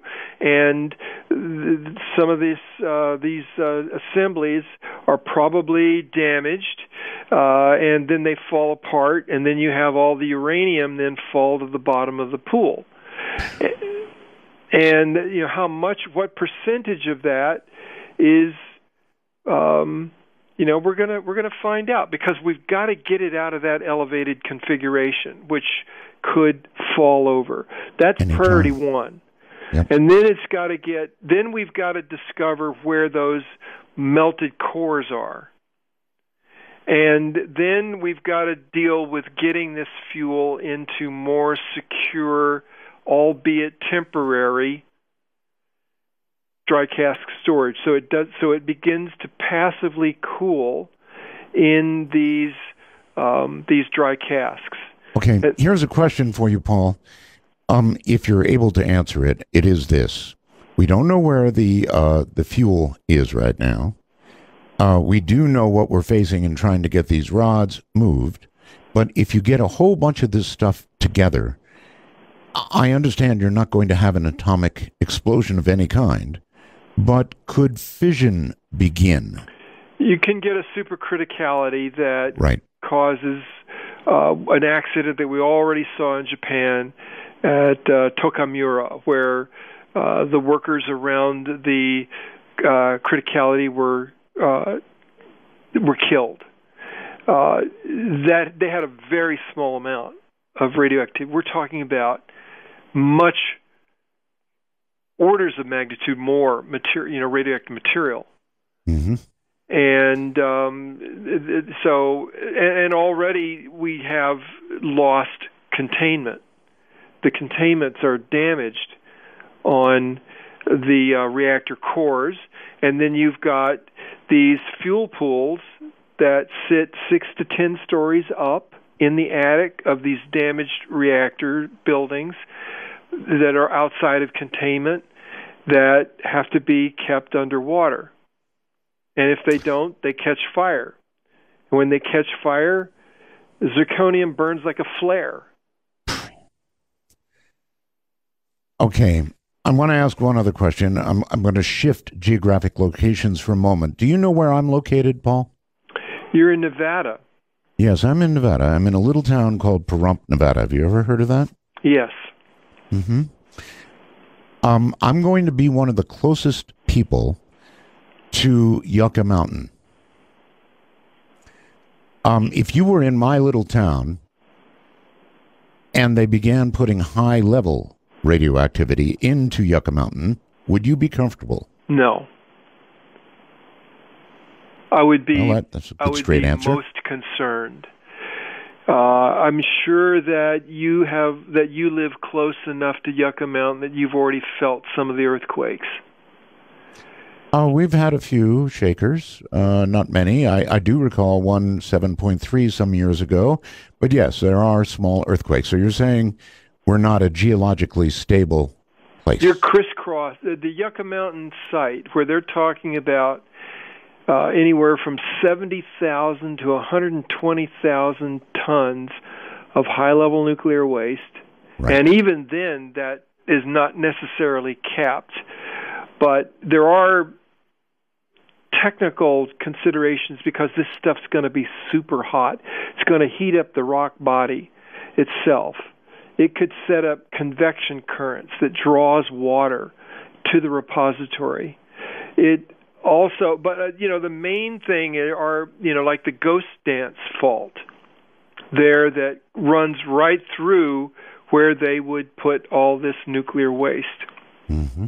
is evidenced as many of these other earthquake faults are evidenced to have uh, volcanic ash in the fault line. and so volcanic ash has already come through there over the geology of the site. Uh, Yucca Mountain is surrounded by by young volcanoes. We know this. The Lathrop Well cinder cones. Some of they're they're so young that erosion hasn't really had that big effect on them. So um, you're talking about putting uh, hundreds of tons of timeless biological hazard into a seismologically and volcanically active area 90 miles from Las Vegas. You couldn't write a better science fiction story than that. Who's behind that kind of devious planning? Not Friends of Nevada. Listen, um, how long would we have to keep that stuff safe? Uh, you know, the repository, according to the EPA, we're talking, you know, more than a million years. A million. More than a million years. More than certainly, certainly, you know, we're talking about epochs. A million years. What have we ever done for a million years?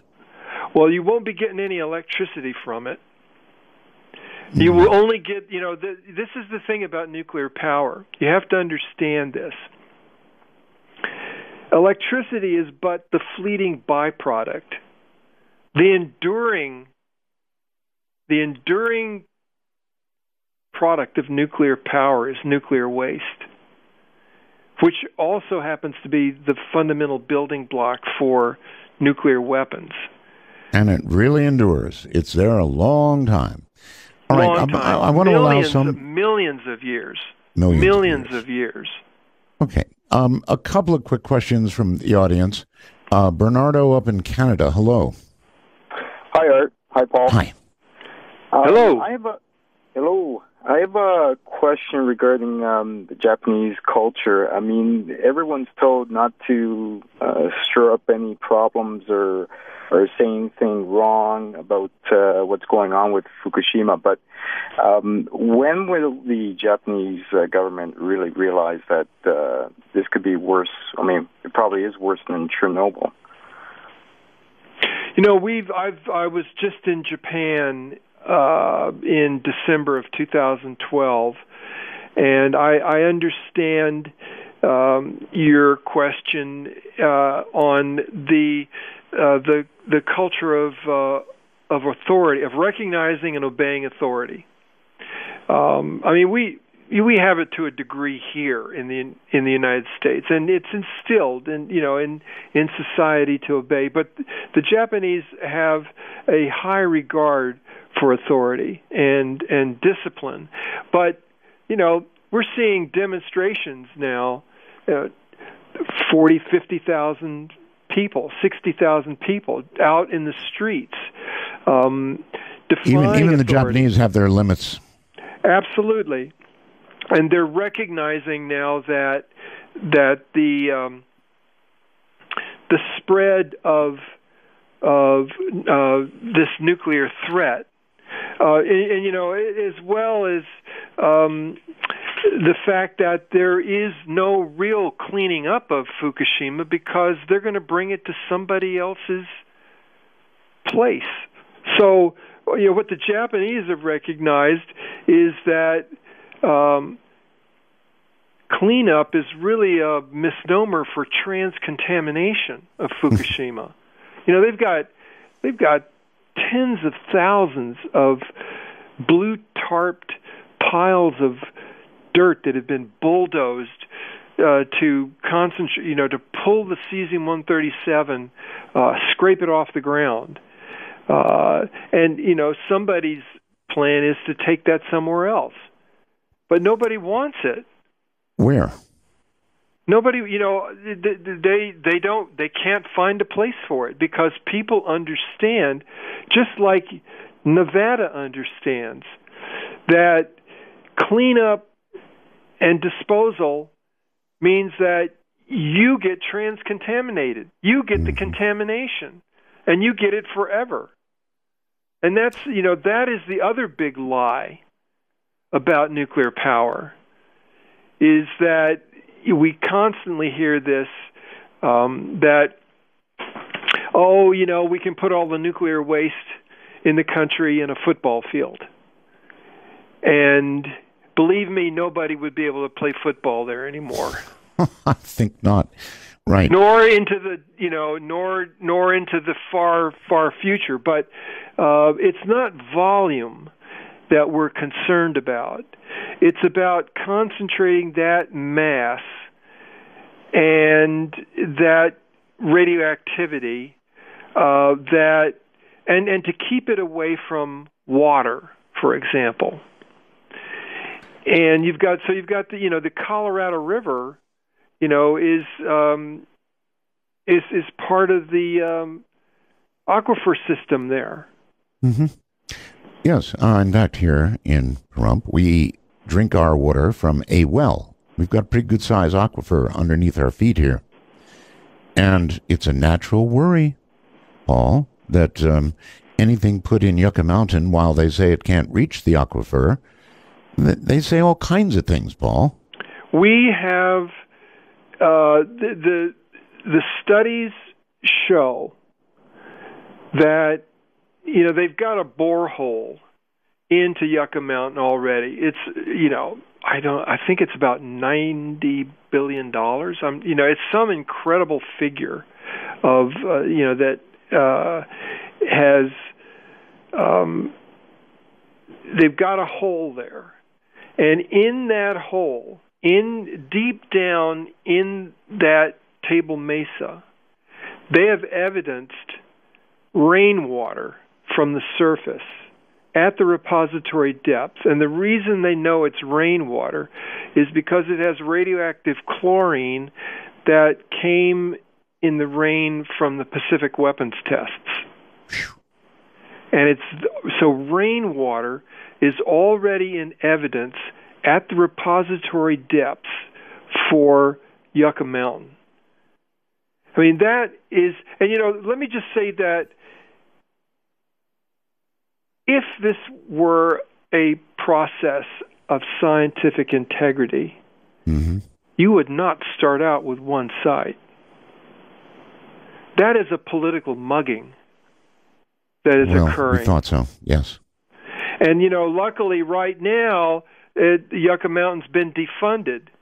But, you know, we have the court systems saying that the NRC still has to proceed with the licensing process, even though there is no money. Now, let me tell you something, Paul. We already see trucks coming right through Pahrump, Nevada, our little town, carrying uh, what they're calling relatively low level stuff to Yucca Mountain. Hmm. Were you were you aware of that? No, I wasn't aware of that. I mean, how, how far are you from local Beatty? newspaper. How far are you from Beatty, Nevada? Not far. Not it's far. you know, Beatty's I north. would I'll I'll bet you dollars to donuts going to Beatty. to Beatty. Okay. Yeah. All right. Uh, to South Carolina right now, and Matt, you're on the air. Hey guys, um, Mega Roswell to you there, Art, you. and um, how you doing there, Pete? Thanks. Paul. Paul. I got a uh, I got a couple of points to make. Um, the first one is um, I know this is not dis- discussion matter tonight, but I, I don't believe that we we have information or technology from extraterrestrials because if we did, it seems like they would have the. the Excuse the me, sir. clean You're this up. way, way, ho, ho, ho, ho. Yeah. Way off topic here. Oh, I know. That's what I'm saying. I mean, I'm just, I'm just, I know it's not what we're talking about tonight, but I just don't believe that, that we have technology from extraterrestrials because it seems I, like I, I don't either. Thank you very much for the call, and uh, take care. Uh, California brings Roxanne. Hello, Roxanne. Hi, I have um, a couple of questions, and Mr. Bell, it's nice to hear you on the air again. And Mr. Paul, I have a question. Um, I live in Southern California, and I'm right on the ocean, and I want to know how long it's going to be safe to eat fish for, and also when Yeah. are we going to see the ocean water contaminated high enough that we shouldn't be swimming in it, and what's going to happen to the whole west coast of the U- of the U.S. All right. Um, there's a lot of questions there. The fish. Uh, that really is an important question. I'm married to a Filipina. She eats a lot of fish. Um, if number four should go and we get a worst case scenario, Paul, when should, at what point would we be worried about eating fish? Well, you know, we uh, we have there are food bans on fish now off the coast of Fukushima. Right. We have so uh, you know the the Fukushima accident has put uh, a fishing industry on uh, the coast of Japan out of business, and that Mhm. unfortunately is indefinite. Uh, we've seen uh, food restrictions on fish, as well as a whole host of agricultural products from several of the prefectures there Oh, yes. in Japan, and you know everything from mushrooms to um, uh, milk, uh, and it's it's a and actually the uh, U.S. Food and Drug Administration put out an alert just a couple of weeks ago that uh, basically instituted those same bans on Japanese products here in the United States. So we now see the uh, the U.S. FDA uh, now ex- uh, uh, taking the food restrictions in Japan and applying them to those products. For, you know, from they're not allowed in the United States. Now, the concern about you know The um, I- all right, let me ask it this way: There are fish caught off the coast of Alaska. you're if- a mind reader. Yeah, if we get the very worst case scenario, or even just a really bad one, which we already have, how long before I have to worry about eating salmon? Those are that's a, those are good questions, and I I mm. think the way you know I can't I can't tell you definitively. I you know I it, the problem Art is that we the government of the United States is not doing any radiological monitoring of the fish. You know, wonderful. oh, that's so- just wonderful. so We're doing no so- monitoring. Excuse no, me. You know, it's there is no orchestrated monitoring focused on the Fukushima accident in the United States. Oh uh, my God. We've even saw in the wake of the accident within months that the U.S. EPA uh, began to back down its monitoring of things like rainwater. Uh, we saw um, monitors, um, you know, taken offline for service uh, during Paul, the I, I saw a headline. I, I saw a headline, Paul, the other day that said that the um, radiological measurements being made in Hawaii um, actually sort of went off the chart the other day. They got, suddenly got a lot of radiation in Hawaii. Had you heard that? I didn't see that one, but we have seen uh, spikes of, um, uh, particularly early on, we saw the spikes of um, iodine 131, which is one of the more mobile. Although tritium is, or you know, radioactive hydrogen, uh, these are highly mobile radioactive uh, products that uh, is sort of uh, uh, radioactivity on roller skates. It just z- jets out there and uh, and then there are more there are heavier particulate behind that. But uh, you know without question the marine environment is now uh, taking the diluted radioactivity that's coming off both atmospherically eh, and then fall out into the ocean and also direct discharge into the ocean. It is then biomagnifying up through the food chain and then uh, bioconcentrating uh, in uh, marine uh, biota and ultimately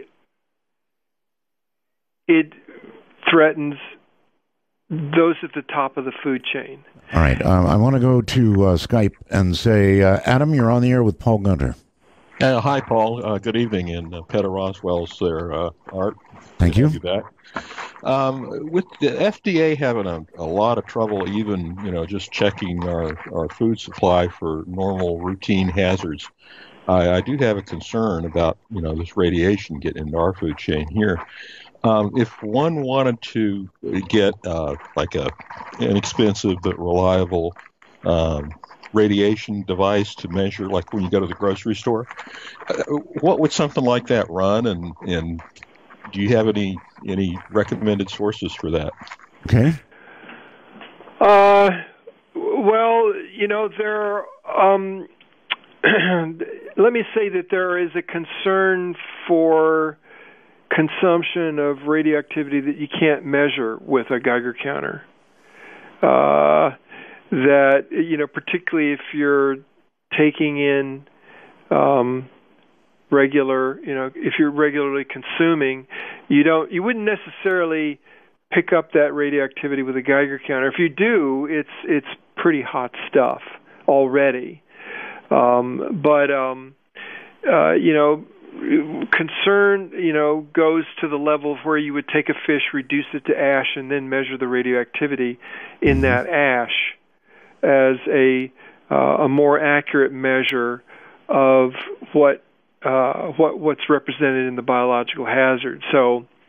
Um, So the answer is no. There's nothing that that you can know, buy right now. You know, it's certainly if it gets hot enough that you're picking up. You know, there I can say that there are fish off the coast of Japan that they monitor with a Geiger counter and they're getting readings. So, uh, a, you know, I don't necessarily see that right now in uh, for uh, California, and uh, we've got no evidence of that. I, Mhm. frankly, we've not even seen uh, any evidence of of uh, tsunami debris coming up on the uh, west coast that would actually register on a Geiger counter. So I haven't, I don't, I don't know. There may be some out there, but I've not seen that reported at this point. But we are vigilant for this kind of stuff, and part of that vigilance we think should be from the U.S. government, and we don't see that level of responsibility right now. Okay. Uh, Washington brings Brian. Hi, Brian. Hey, Art Major Oswald and Paul. Thank you. Hello. Good, uh, good topic tonight. Hey, I live in uh, Washington State, uh, about five to ten miles away from the Hanford nuclear power plant. And lately, we, we've been having uh, quite a bit of tornadoes up in the area, uh, about 60 miles away from the plant. I do know that they're also doing a lot of uh, hazardous material cleanup uh, with the dirt and stuff like that. And I was just wondering if there was any threat from the tornadoes up in the Washington area, uh, as well as any threat for the hazardous material dirt that they're cleaning up. I'll take my Okay, off the air. Um, okay. Tornadoes um, hmm, in Washington, eh? Well, we've seen super. We've seen some. We've seen some supercell tornadoes now. I mean, one of the one of the aspects of climate change is the increase in severity and frequency. Certainly, tornadoes are on everybody's concern list right now. The you know the thing about Hanford uh, is that that's an old nuclear production facility. Uh, you've got uh, these corroding uh, tanks of nuclear waste that have to be constantly maintained uh, because if they're not, they could explode. Um, if there are disruptions of power, uh, th- that result in long outages. Uh, you know, this this represents a concern. Um, you know, it's also a seismologically active site uh, that runs through that area. Uh, so there is there is um, there are lots of natural events that that raise a concern, but you also have to uh, realize that we have a Fukushima style reactor, uh, Columbia Nuclear Power Station. It's one of these GE Mark II reactors sitting right next to these high level nuclear waste tanks from the 1940s and 1950s. So you've got a double threat sitting up there in Hanford, um, and um, you know it's a it's a big it's a big concern because it's also right on the Columbia River.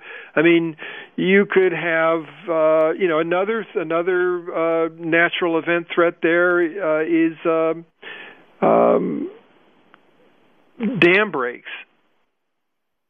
All right, Paul. Hold tight. Hold tight. Uh, we're going to do a break here. Uh, God, it's scary stuff. Really scary stuff. To imagine what they've got to do in Japan right now to get control of this in any way at all, any real way at all, and prevent something much larger from occurring. I don't know. And confidence in TEPCO? Not really high. Now, I'm speaking personally, not not really high. Uh, let's go quickly to uh, Skype. Uh, Michael, you're on with uh, Paul Gunter.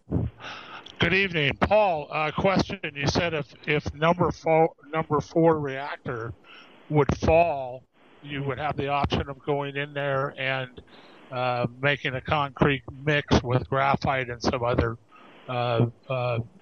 ingredients. Why not just go in there and completely fill, uh, put a mat slab on top of the entire uh, uh, bunch of reactors there? Okay. You, you said it would that the concrete would start breaking down in 10 years, but that would it wouldn't it give us 10 years to formulate a better plan? Okay. Um, Paul?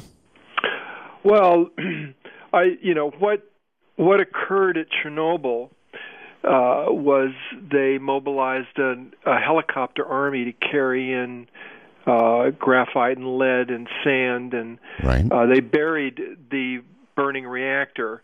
Uh, the difference here at Chernobyl is that you have uh, hundreds of tons of nuclear waste sitting uh, up on top of the reactor building, and if you bomb that like they did at Chernobyl, you would in fact cause the collapse you were looking to prevent.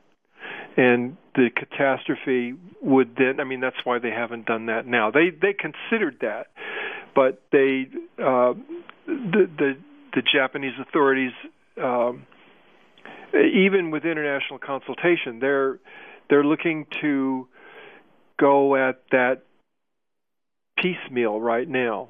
All right, let me try putting you on the spot here, Paul. Um, I understand how you're coming at this whole subject, but if I were to put you in charge, the guy who is going to tell everybody how to handle this and what to do, what would your marching orders be?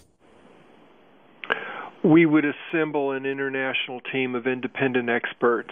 First of all, you know, pull pull the best minds together uh, because of the uh, international, the global consequence of making the wrong move. This would have to be very carefully deliberated, and you have to remove it completely from the financial interests of this teetering utility. I mean, they're looking to cover their financial assets. Mm. And that has to be not the priority any, any longer. It has to be public health and safety and the environment have to take precedent. And because of the far reach, both in terms of distance and into the future, um, we've got to get our priorities straight, and that means an assembly of the best minds that are independent of a public relations campaign for the nuclear industry. Okay, let's go to Josh in Utah. Josh, you're on the air with Paul. Hi there. Um, Paul, I have a question for you. I hear you compare this incident a lot to Chernobyl, but I wonder uh, what would happen if, worst case scenario, everything went south, maybe it got bombed. How would that compare to what happened when the bomb was dropped in Hiroshima? Hmm. Oh, these are, uh, you know, 15,000 times the radiation or more than Hiroshima. Hiroshima would be a firecracker to this in terms of radiological impact. Um, boy, that's frightening. That's really frightening. And as you pointed out, it would depend on which way the wind was blowing. Want to remind everybody we've got Skype. If you want to reach me on Skype, I am Art dot bell 51 simple as that. Um, you're on the air and i can't tell texas. Mike. Hey Art, how you doing? Okay sir. So uh, is this guy paul are you a nuclear physicist? I'm an environmental activist okay you're a what Environmental I am activist. I'm an activist. I'm I come at this from 35 years of dealing with uh, the nuclear industry. Uh, when they wanted to build two large reactors on a sensitive salt marsh estuary, I basically said, along with a, a growing community, that we uh, have a role in making decisions for our future and for our children's children's children's future. Um, prior to joining uh, Beyond Nuclear, he served 16 years as the director of the Reactor Watchdog Project for Nuclear Information and Resource Service, an environmental activist, indeed. So, there you go. What's your question? Okay. Uh, okay. The question is, well, I got two different things that we could probably do. One of them would be, why can't we nuke it? no, that's true. No, I, right. Okay, I'm sorry. I, I just shouldn't have laughed. Um, Paul, why can't we nuke it? Well, I mean, we're trying to con- we're trying to, to contain it. Contain it. That is, you know, it, we've lost containment. To vaporize, uh, you know, thousands of tons of nuclear waste, uh, you know, is a little like uh, killing the patient to save it. No, not really, because it's going to go on for long, long, long. This is this is a disaster. We've had 500 open air atomic explosions. Oh, thou- we've had thousands, thousands, and and certainly Uh, that's they were moving. They were moving. I told them they got to remove the the rods on on on top of the reactors. But once they move, remove the rods, wouldn't it be better just to have one small flash and uh instead of that in four cores? You said the cores are in the ground, right? We You don't know said where small, they are. a We small believe flash. they're on they're- their way. Most most nuclear explosions are not generally described as small. Okay, but then a one two kiloton blast and this stuff would all burn out. Well, where Oh. does all that where does all that radioactive uh, debris in the atmosphere go? Same thing as they did in Nevada. This uh, well, I mean, it's just if it's that bad, if it's that bad, which what kind of options? You only got two options. That's one. What would be worse? Let me just say it Oh, would. I want to hear his other option. Uh, hold, hold on, Paul. I really want to hear this. Go ahead, sir. The other another option is when you you got to wait till it gets like to two to four thousand feet. You got to get a real physicist. I'm not a real physicist, but it's like two to six thousand, maybe seven thousand feet deep. Then you got to just bomb a canal right over the top of it and let ocean water, and at seven thousand feet, it uh, it should just uh, stop there. I I'm missing something. Roll that Yes. by me again. You wait till the cores get like five thousand to seven thousand feet deep. Oh, into the ground. Into the No, he's ground. he's, th- he's thinking they're headed for well. It wouldn't be Yeah. the China syndrome. It's in Japan, so it's probably headed for I don't know South America or something. So yeah, well, no, seven thousand feet's not that deep. and then, uh, and then you just go a neutron bomb or large bunker busters and just dig, dig a canal right over the top of it Okay. ocean water. and then- I've got it now. This guy likes bombs. Yeah. Well, we're sitting on one. He really likes bombs. Um, and I, I probably shouldn't have laughed off his uh, nuclear explosion idea. But another thing to think about is Japan is a very highly populated place. Any nuclear bomb going off is going to have, particularly scattering all this radioactivity. Hmm. I mean, that's a big concern, Art, today that uh, any of these, you know, nuclear power plants, we've got we've got them all around Washington D.C. These are pre-deployed radiological weapons of mass destruction. If you have an insider, if you've got uh, a dedicated team that's willing to die for their cause. Let me remind the, the the listeners that the 9/11 Commission that looked at the Al Qaeda plan for the United States originally was to hijack 10 aircraft and to direct two of those aircraft into nuclear power plants. Mo- Mohammed Atta, when he was doing his flight training uh, to take over a U.S. U.S. commercial airliner to deliver uh, a a, uh, a strike on the uh, world towers there, the uh, his uh, um, his flight pattern took him over uh, to survey the Indian Point nuclear power plant, which is 25 miles from New York, and um, so delivering an aircraft into a nuclear power plant. We've got some national we've got a National Academy of Sciences study that looks at what would be the concern if you flew an aircraft into one of these General Electric Mark One boiling water reactors that's got all the happen? nuclear waste up on the roof in an in the attic. Uh, you know, in the United States, you know, we, we're certainly concerned about Fukushima there with 400 met- Right. tons. Paul, let me stop you and ask you directly what would happen if an aircraft of that size hit that reactor? What would happen? The U.S. the the, Na- the National Academies of Science says that there would be cancer deaths 500 miles away. In other words, it would be breached and it would be horrible. Yes, there's no superstructure over these uh, uh, spent fuel pools, as they call. They're anything but spent, but okay. there's no superstructure over that would prevent aircraft penetration and a nuclear fire. And in, and in our case, in the United States, we've got a lot of these pools are on the order of 750 metric tons.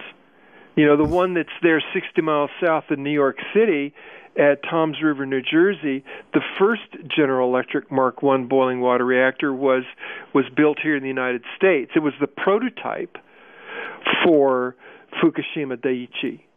And it has on the order of 700 metric tons of high level nuclear waste sitting up in a pool in the attic that it makes the hair stand up on the back of my neck now to to say that it wouldn't take a commercial aircraft.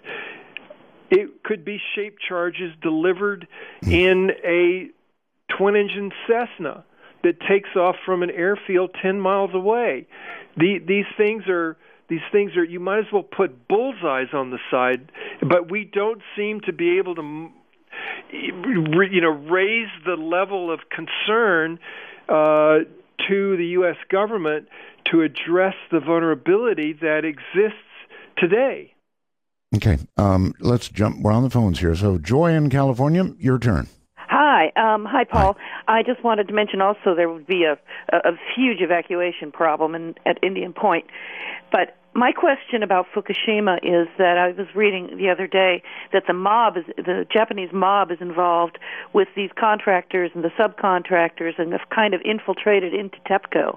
What kind of um, security risk does that put everybody at, including TEPCO, because they could smuggle all kinds of weird stuff out of that plant? It it is a again it's it's a prime reason for an international independent effort that it, that's needed now to intervene uh, with the priority being public health and safety in the environment and um, that that's a big you know we we've we've seen that level of infiltration uh, by organized crime introduce things at the Fukushima site so that workers are going in there with their dosimeters in lead cases so that they are you know literally um, shielding their radiological monitors from radiation exposure rather than their bodies so they can you know get more uh, time out of the workers uh, doing these dangerous uh, exposures. Uh, so you know those it's that kind of institutionalized lying that permeates this this catastrophe uh, from the very beginning, and now threatens a the responsible recovery. How will we know if if something terrible happens when they do this cleanup? Like if the rods cross or it sets on fire. I heard now they're going to be having a media um, blackout. Oh, there's there's yeah. been a problem. There's what been what a what problem. what media blackout? Is that true, Paul? There's been a problem uh, with a uh, lag of information. Uh, there's been there's been problems with misinformation. I mean, we've been told that there are, you know, that the the site is secure, that the Pacific Ocean is not a concern, and then months later, TEPCO right. admits that it's completely out of control that they right. have they have no control over the radiological contamination that's going into the Pacific Ocean right, on a daily but, basis. Right, but and Paul, the question is: Is there going to be a media blackout for this operation? They're I'd about say to that there that we're already. Uh, we have uh, a problem with how stories are being filtered. Go to Nebraska and Brian. You're on the air with Paul Gunter. Hi, Paul. Um, yeah, uh, I, I, we have two nuclear plants um, right along the Missouri River here.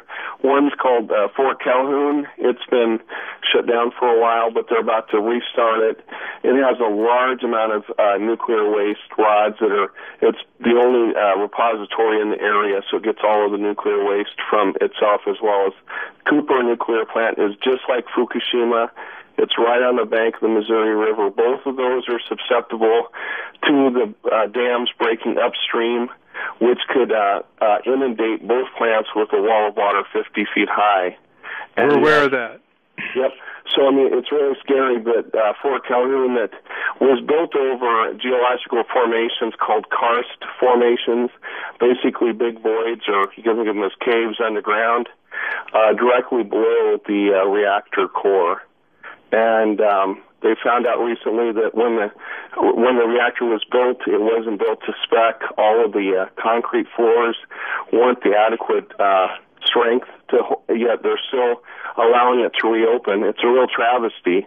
Something has to be done to bring the NRC uh, to the you know job that they're supposed to do to protect the public. It's not being done right now. All right, let, let's review this. Now, I wasn't aware of it. You may have been, uh, Paul, but I certainly wasn't. You're saying there are dams upstream that if, if those dams, if, if one of those dams let go, they could face a wall of 50 feet of water. Is that correct?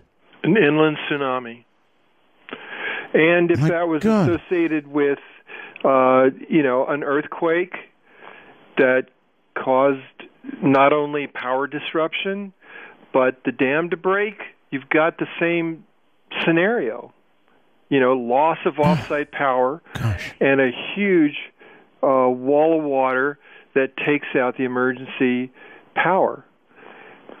It's it's just you know so you know the industry likes to paint uh, the U.S. industry likes to paint that disaster over there as completely remote and so extreme that you don't need to worry about it here. It won't happen. but Nonsense. we've got the identical technology.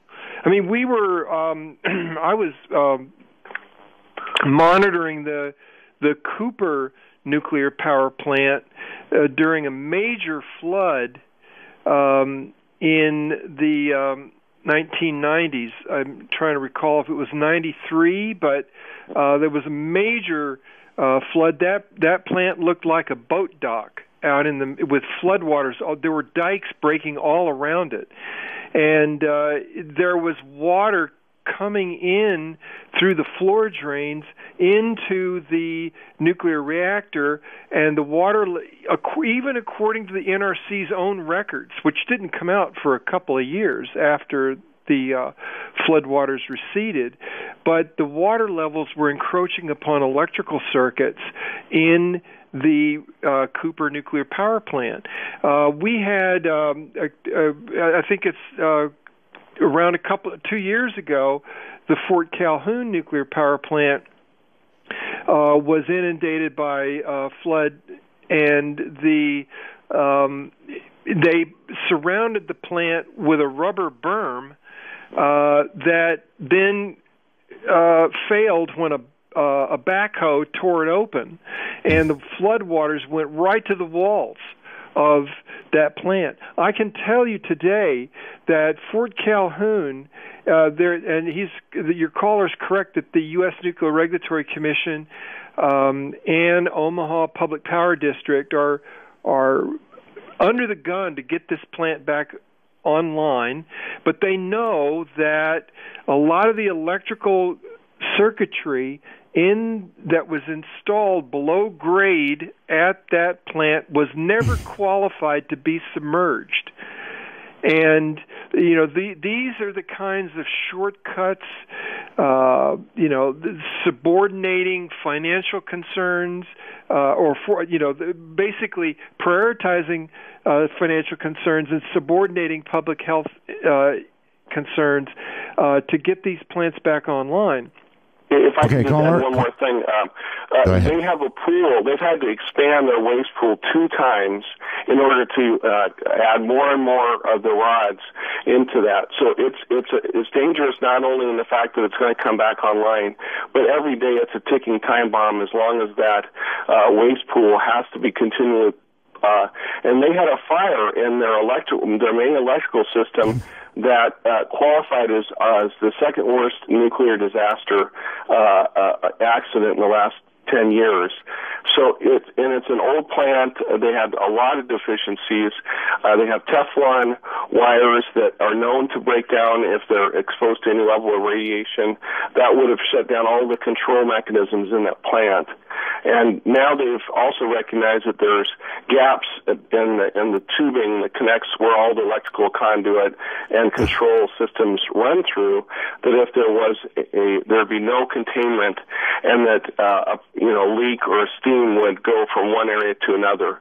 So it's a domino it's a domino effect that's just waiting to happen. It would contaminate the water all throughout the southern part of the United States through Tennessee, Missouri, uh, down to Louisiana. Nobody would have fresh water in, in that whole reserve. That that river provides water for about twenty percent of the U.S. and it would be a wasteland. Let me just point out, though, that Fort Calhoun um, isn't um, expanding the spent fuel pool as it is more that they're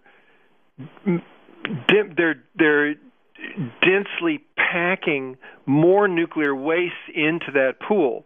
So you're correct that they're expanding the nuclear waste volume and the radioactivity in that pool, but it means that they're packing it tighter and tighter and tighter. Oh. All right, um, let's go to Bill in Ohio. Hi, Bill. Yeah, hey Art, hey Paul. Hey, um, there was a study out recently, and it, and it was about global climate change, but it was talking about how um, uh, the climate change is seriously imperiling phytoplankton in the world's oceans, or how you know it will eventually imperil phytoplankton. Will the um, contaminated runoff from Fukushima will it further imperil uh, phytoplankton? We've we've seen studies that show that uh, phyto uh, that the plankton, uh, being you know the single cell uh, and fundamental building block of the biology, the marine biology, they concentrate thing, radioactive isotopes like cesium-137. Uh, it, it, the, the study I saw was a thousand times. The, the phytoplankton itself can become a thousand times more radioactive uh, per gram than per gram of water. Uh, that surrounds it. So uh, th- this is just an illustration of how you begin to reverse the dilution uh, of pollution, which then begins this concentration then back up through the food chain. Okay. Um, Alabama, uh, Rob? Yes, hi. Uh, good evening, guys. Uh, nice Good to talk to you, Art. It, it, it took me uh, quite a while to uh, to call you back here to, to stop shaking when I heard you were back on the air. Um, Thank you. grew up uh, grew up in Nevada. There was born and raised there, third generation. Um, there's a lot of strange things that go on in Nevada, and, and I think we know that. And I, my question is, and I'm looking at these things that are happening um, overseas, and I'm wondering, you know, how long they've been, you know, actually truly trucking this stuff into into the state. Um, I can remember growing up there and going uh, deer hunting and antelope hunting up in uh, northern Washoe and and Humboldt County and up in that area, and um, actually seeing the signs, you know, uh, do not sleep on the ground because of natural radioactivity. Um, being in a place from Nevada, being from Nevada in a place like that where there is um, so many, it's very desolate. You get up there northern, you know, up through the the Black Rock Desert and uh, uh, all up through there. It's uh, how much of that is really natural? What what is going to happen down at Yucca Mountain? Um, we look at things like Pyramid Lake, where we have possibly an underground river to Africa. Um, we don't know the aquifer structures throughout the state of Nevada, and if something does happen in down Yucca Mountain and underground, um, uh, excuse me, earthquake um, or something like that, where is this radioactivity? Where can it end up? Okay. Paul? Well, if uh, you know, if you look at the um, the studies, uh, and even if you listen to the Department of Energy and the U.S. Nuclear Regulatory Commission and the Environmental Protection Agency, you eventually arrive where they admit that the repository is not going to hold the nuclear waste, that eventually it will get out. But it will get out long after the uh, chief executive officers have had their golden parachutes. and th- th- these are the kinds of concerns where um, only the, you know, it is this short-term financial corporation uh, corporate agenda that is putting uh, our future at stake. Uh, you know, there's not one. Uh, you know, Paul, I'm I'm starting to wonder if it makes any difference at all whether you're short-term planning or long-term planning, because the Japanese, of course, were famous for long-term planning, unlike Americans. But uh, whatever long-term planning they did didn't apparently include what could happen at Fukushima. Right.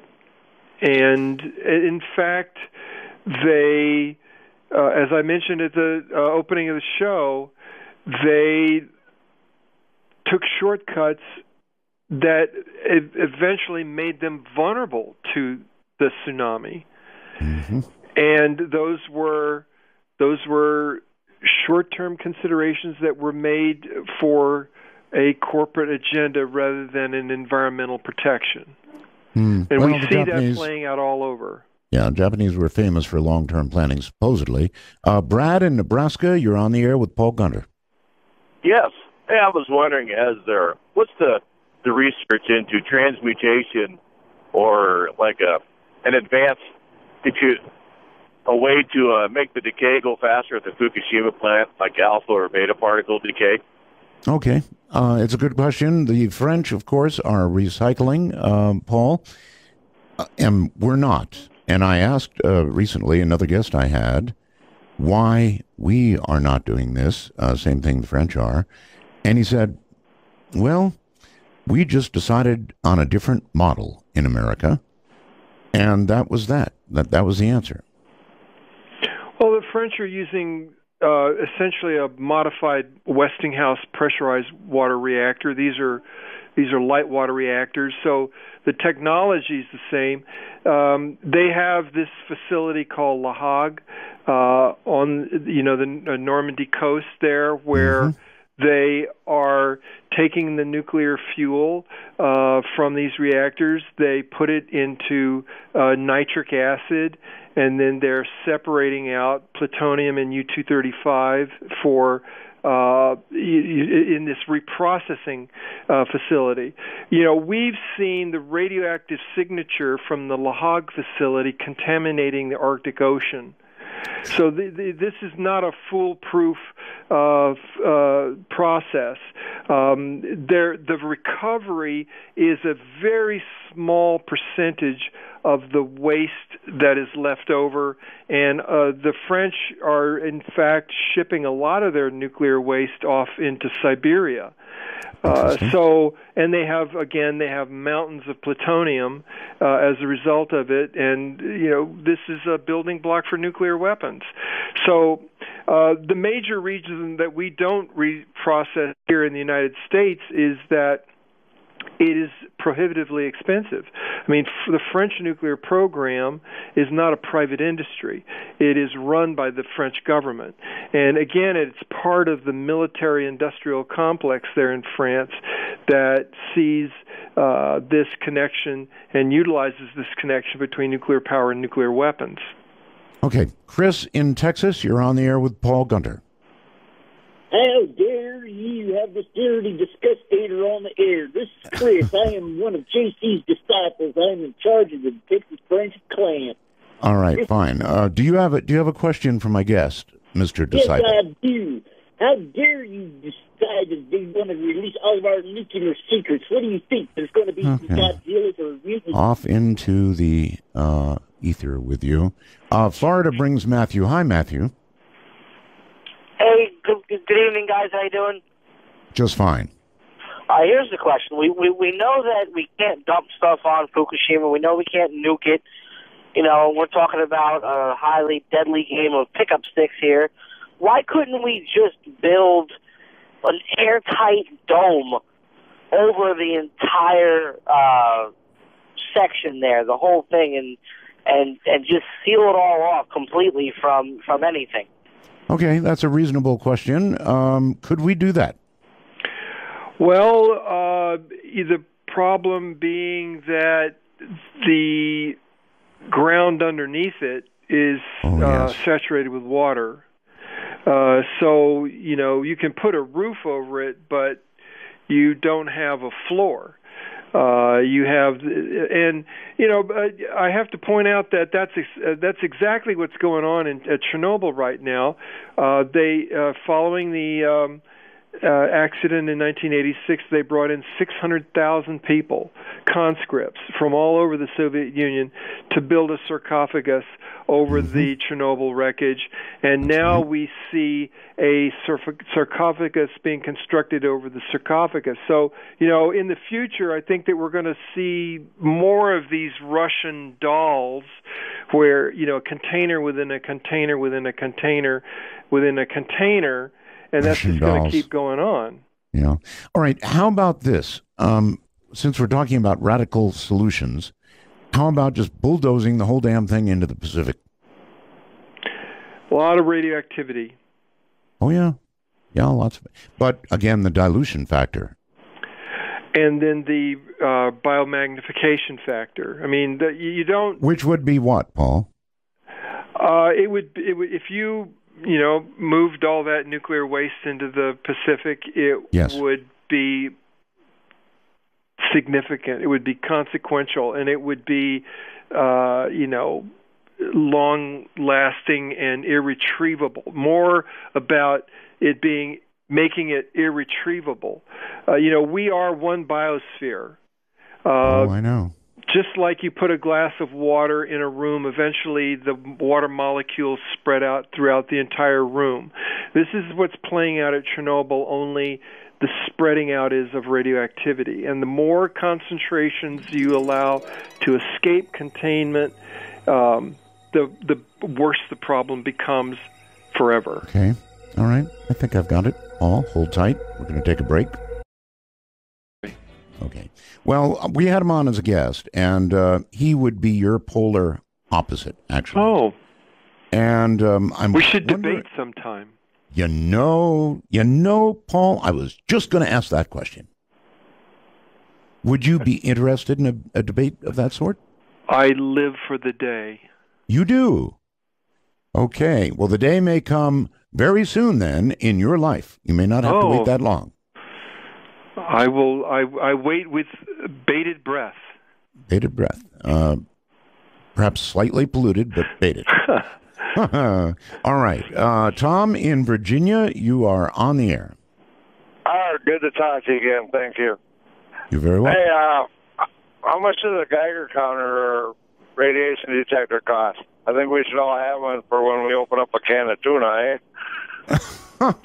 Well, um, uh, it, uh, certainly, I mean, we kind of covered this earlier. I don't know if you heard it, but a radiation detector of that sort really wouldn't be useful uh, to hold over your can of tuna. But there oh. should be monitoring uh, going on, is what I, I, think that my guest would say. Uh, environmental monitoring, right, Paul? Absolutely. And, you know, you can buy a Geiger counter starting at around $250 that could register radioactivity in rainwater. I think that you know we see uh, activists all over the country that are taking um, you know th- these f- relatively affordable Geiger counters and uh, uh, we've seen spikes in rainwater, for example, uh, radiation spikes in rainwater in, in Oregon and Washington uh, that are meas- that are being measured with Geiger counters. Okay, Uh, here's, here's a question for you, Paul. Um, I've got a Geiger counter, by the way.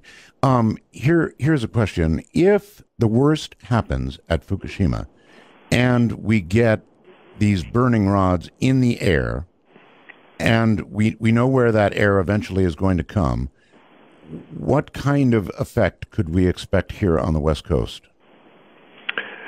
I again, it, you know, I I'm not a soothsayer, but you know, it's very possible that radioactive fallout. We've seen radioactive fallout already from the Fukushima event. It was. Yeah, I'm talking about if number on. four, if number four falls, It if the be- rods, it would it would be a it would be a big problem. It's it, again, it would be hemispheric is the concern, and it puts the accident, it reignites the accident uh, on a larger scale of catastrophe. okay. Dave in California, you're on the air with Paul. Good. Dave? That's you. Paul? Hi, hey, Paul. Hello, Paul. Hello, uh, Roswell to you, Art. I have uh, two points that I'd like you to discuss. Uh, one is this is almost an international problem instead of just a Japanese problem. And, Absolutely. And it, it seems to me as, as as unable as the United Nations is to work anything out, um, and whenever America needs to spend money, I mean, we can spend hundreds of millions of dollars on a website that doesn't work. Um, isn't there any kind of an international fund to deal with this problem? And two, uh, given the fact that we either have nat- natural or man-made problems, and obviously a terrorist doesn't have to fly some uh, an airplane into a, a dome; they can just take out the generators and let physics do its part. Isn't there almost an inevitability of this problem occurring again sometime in our lifetime? yes. Yeah, I well, I have to say that um, I've been involved in this f- since 1975, and I've seen uh, five reactors melt down.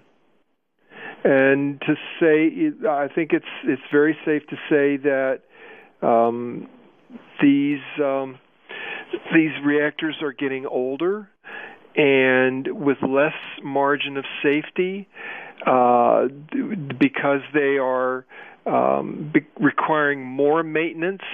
Uh, the companies are looking to take more shortcuts. And as the profit motive is lost on the industry, our problems only really begin.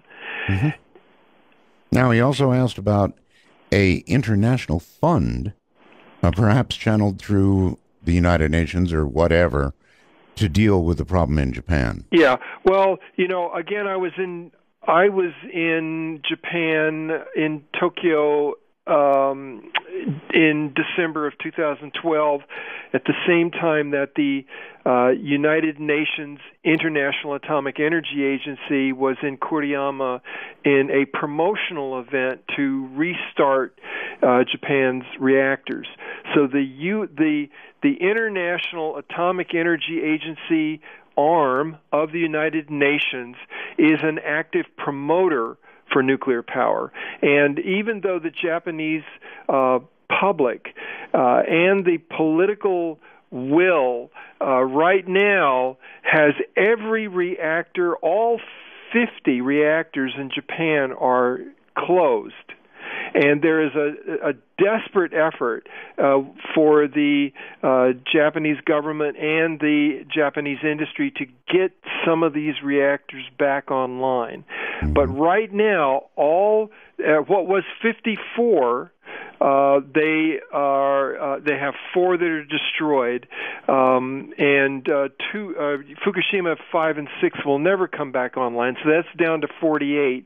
But they are still trying to get a, a number of that 48 back online, and the the UN arm is actively cheerleading Japan's restart of this dangerous technology. Okay.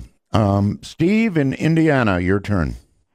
Hey, Art. Good to hear you back on the radio, and and it's an honor to be on your show. Thank you. Paul. Yes. Yeah. Uh, first of all, I commend you on your uh, your intelligence on this subject, and you sure make coal seem like a piece of candy. Um, what about the idea? And I know it wouldn't work with the damaged plants on the planet and different things like that, but what about these plants that have everything up and functioning and everything's in good shape? These little thermoses that you're talking about, with uh, I guess would be the fuel rods. Is that correct? Uh, well, the thermoses I was talking about are the are the intermediate waste disposal units. Okay. You know that would take the nuclear waste, uh, Okay. and they're licensed uh, for 20 to 100 years, uh, but the waste goes on for millions. So you know we're uh, these are just basically stopgap measures. But at Fukushima, we could buy time by getting all that nuclear waste that's sitting out there, uh, just waiting for another earthquake or tsunami to get it. Uh, get it out of these mass concentrations in the pools of hundreds of tons and, and compartmentalize it in these smaller uh, passive uh, containment systems. Right. The- that's that's the goal. Okay, my question is this: these these rods that are contained and properly done so, why couldn't we do what you're talking about with the container inside a container inside a container, blah blah blah, and put these things on a space shuttle to Pluto?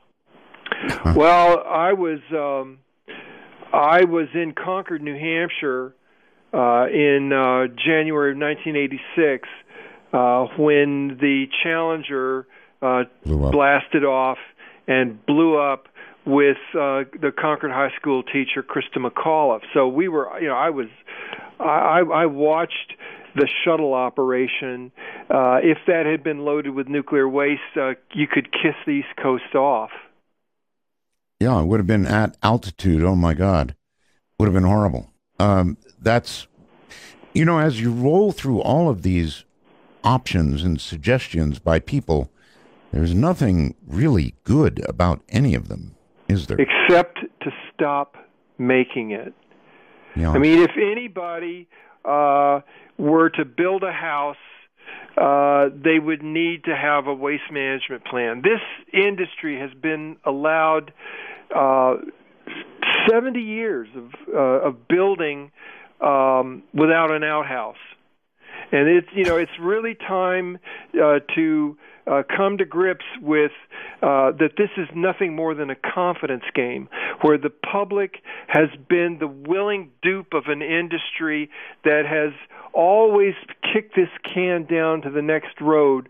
And the future generations are going to get all of the liability and not one watt of benefit. And that my friends is uh, criminal activity in my concern because that's fraud All right. Well, you've said it uh, quite directly, my friend. I appreciate your being here tonight. Um, we're going to look into the possibility of involving you in a bit of a debate, if that's uh, again okay with you. Yahoo! I'll take that as a yes. All right. Thank you so very much, Paul, for being here tonight. Have a Thank great you, night. and no nukes. no nukes. All right. Take care. Well, there you have it. That's it for this night. I appreciate all of you being here. For those of you left on the lines, which are full, sorry. Um, we'll get to you next time, and um, there's almost only so much time in any given night. But for this night, Dark Riders, thank you.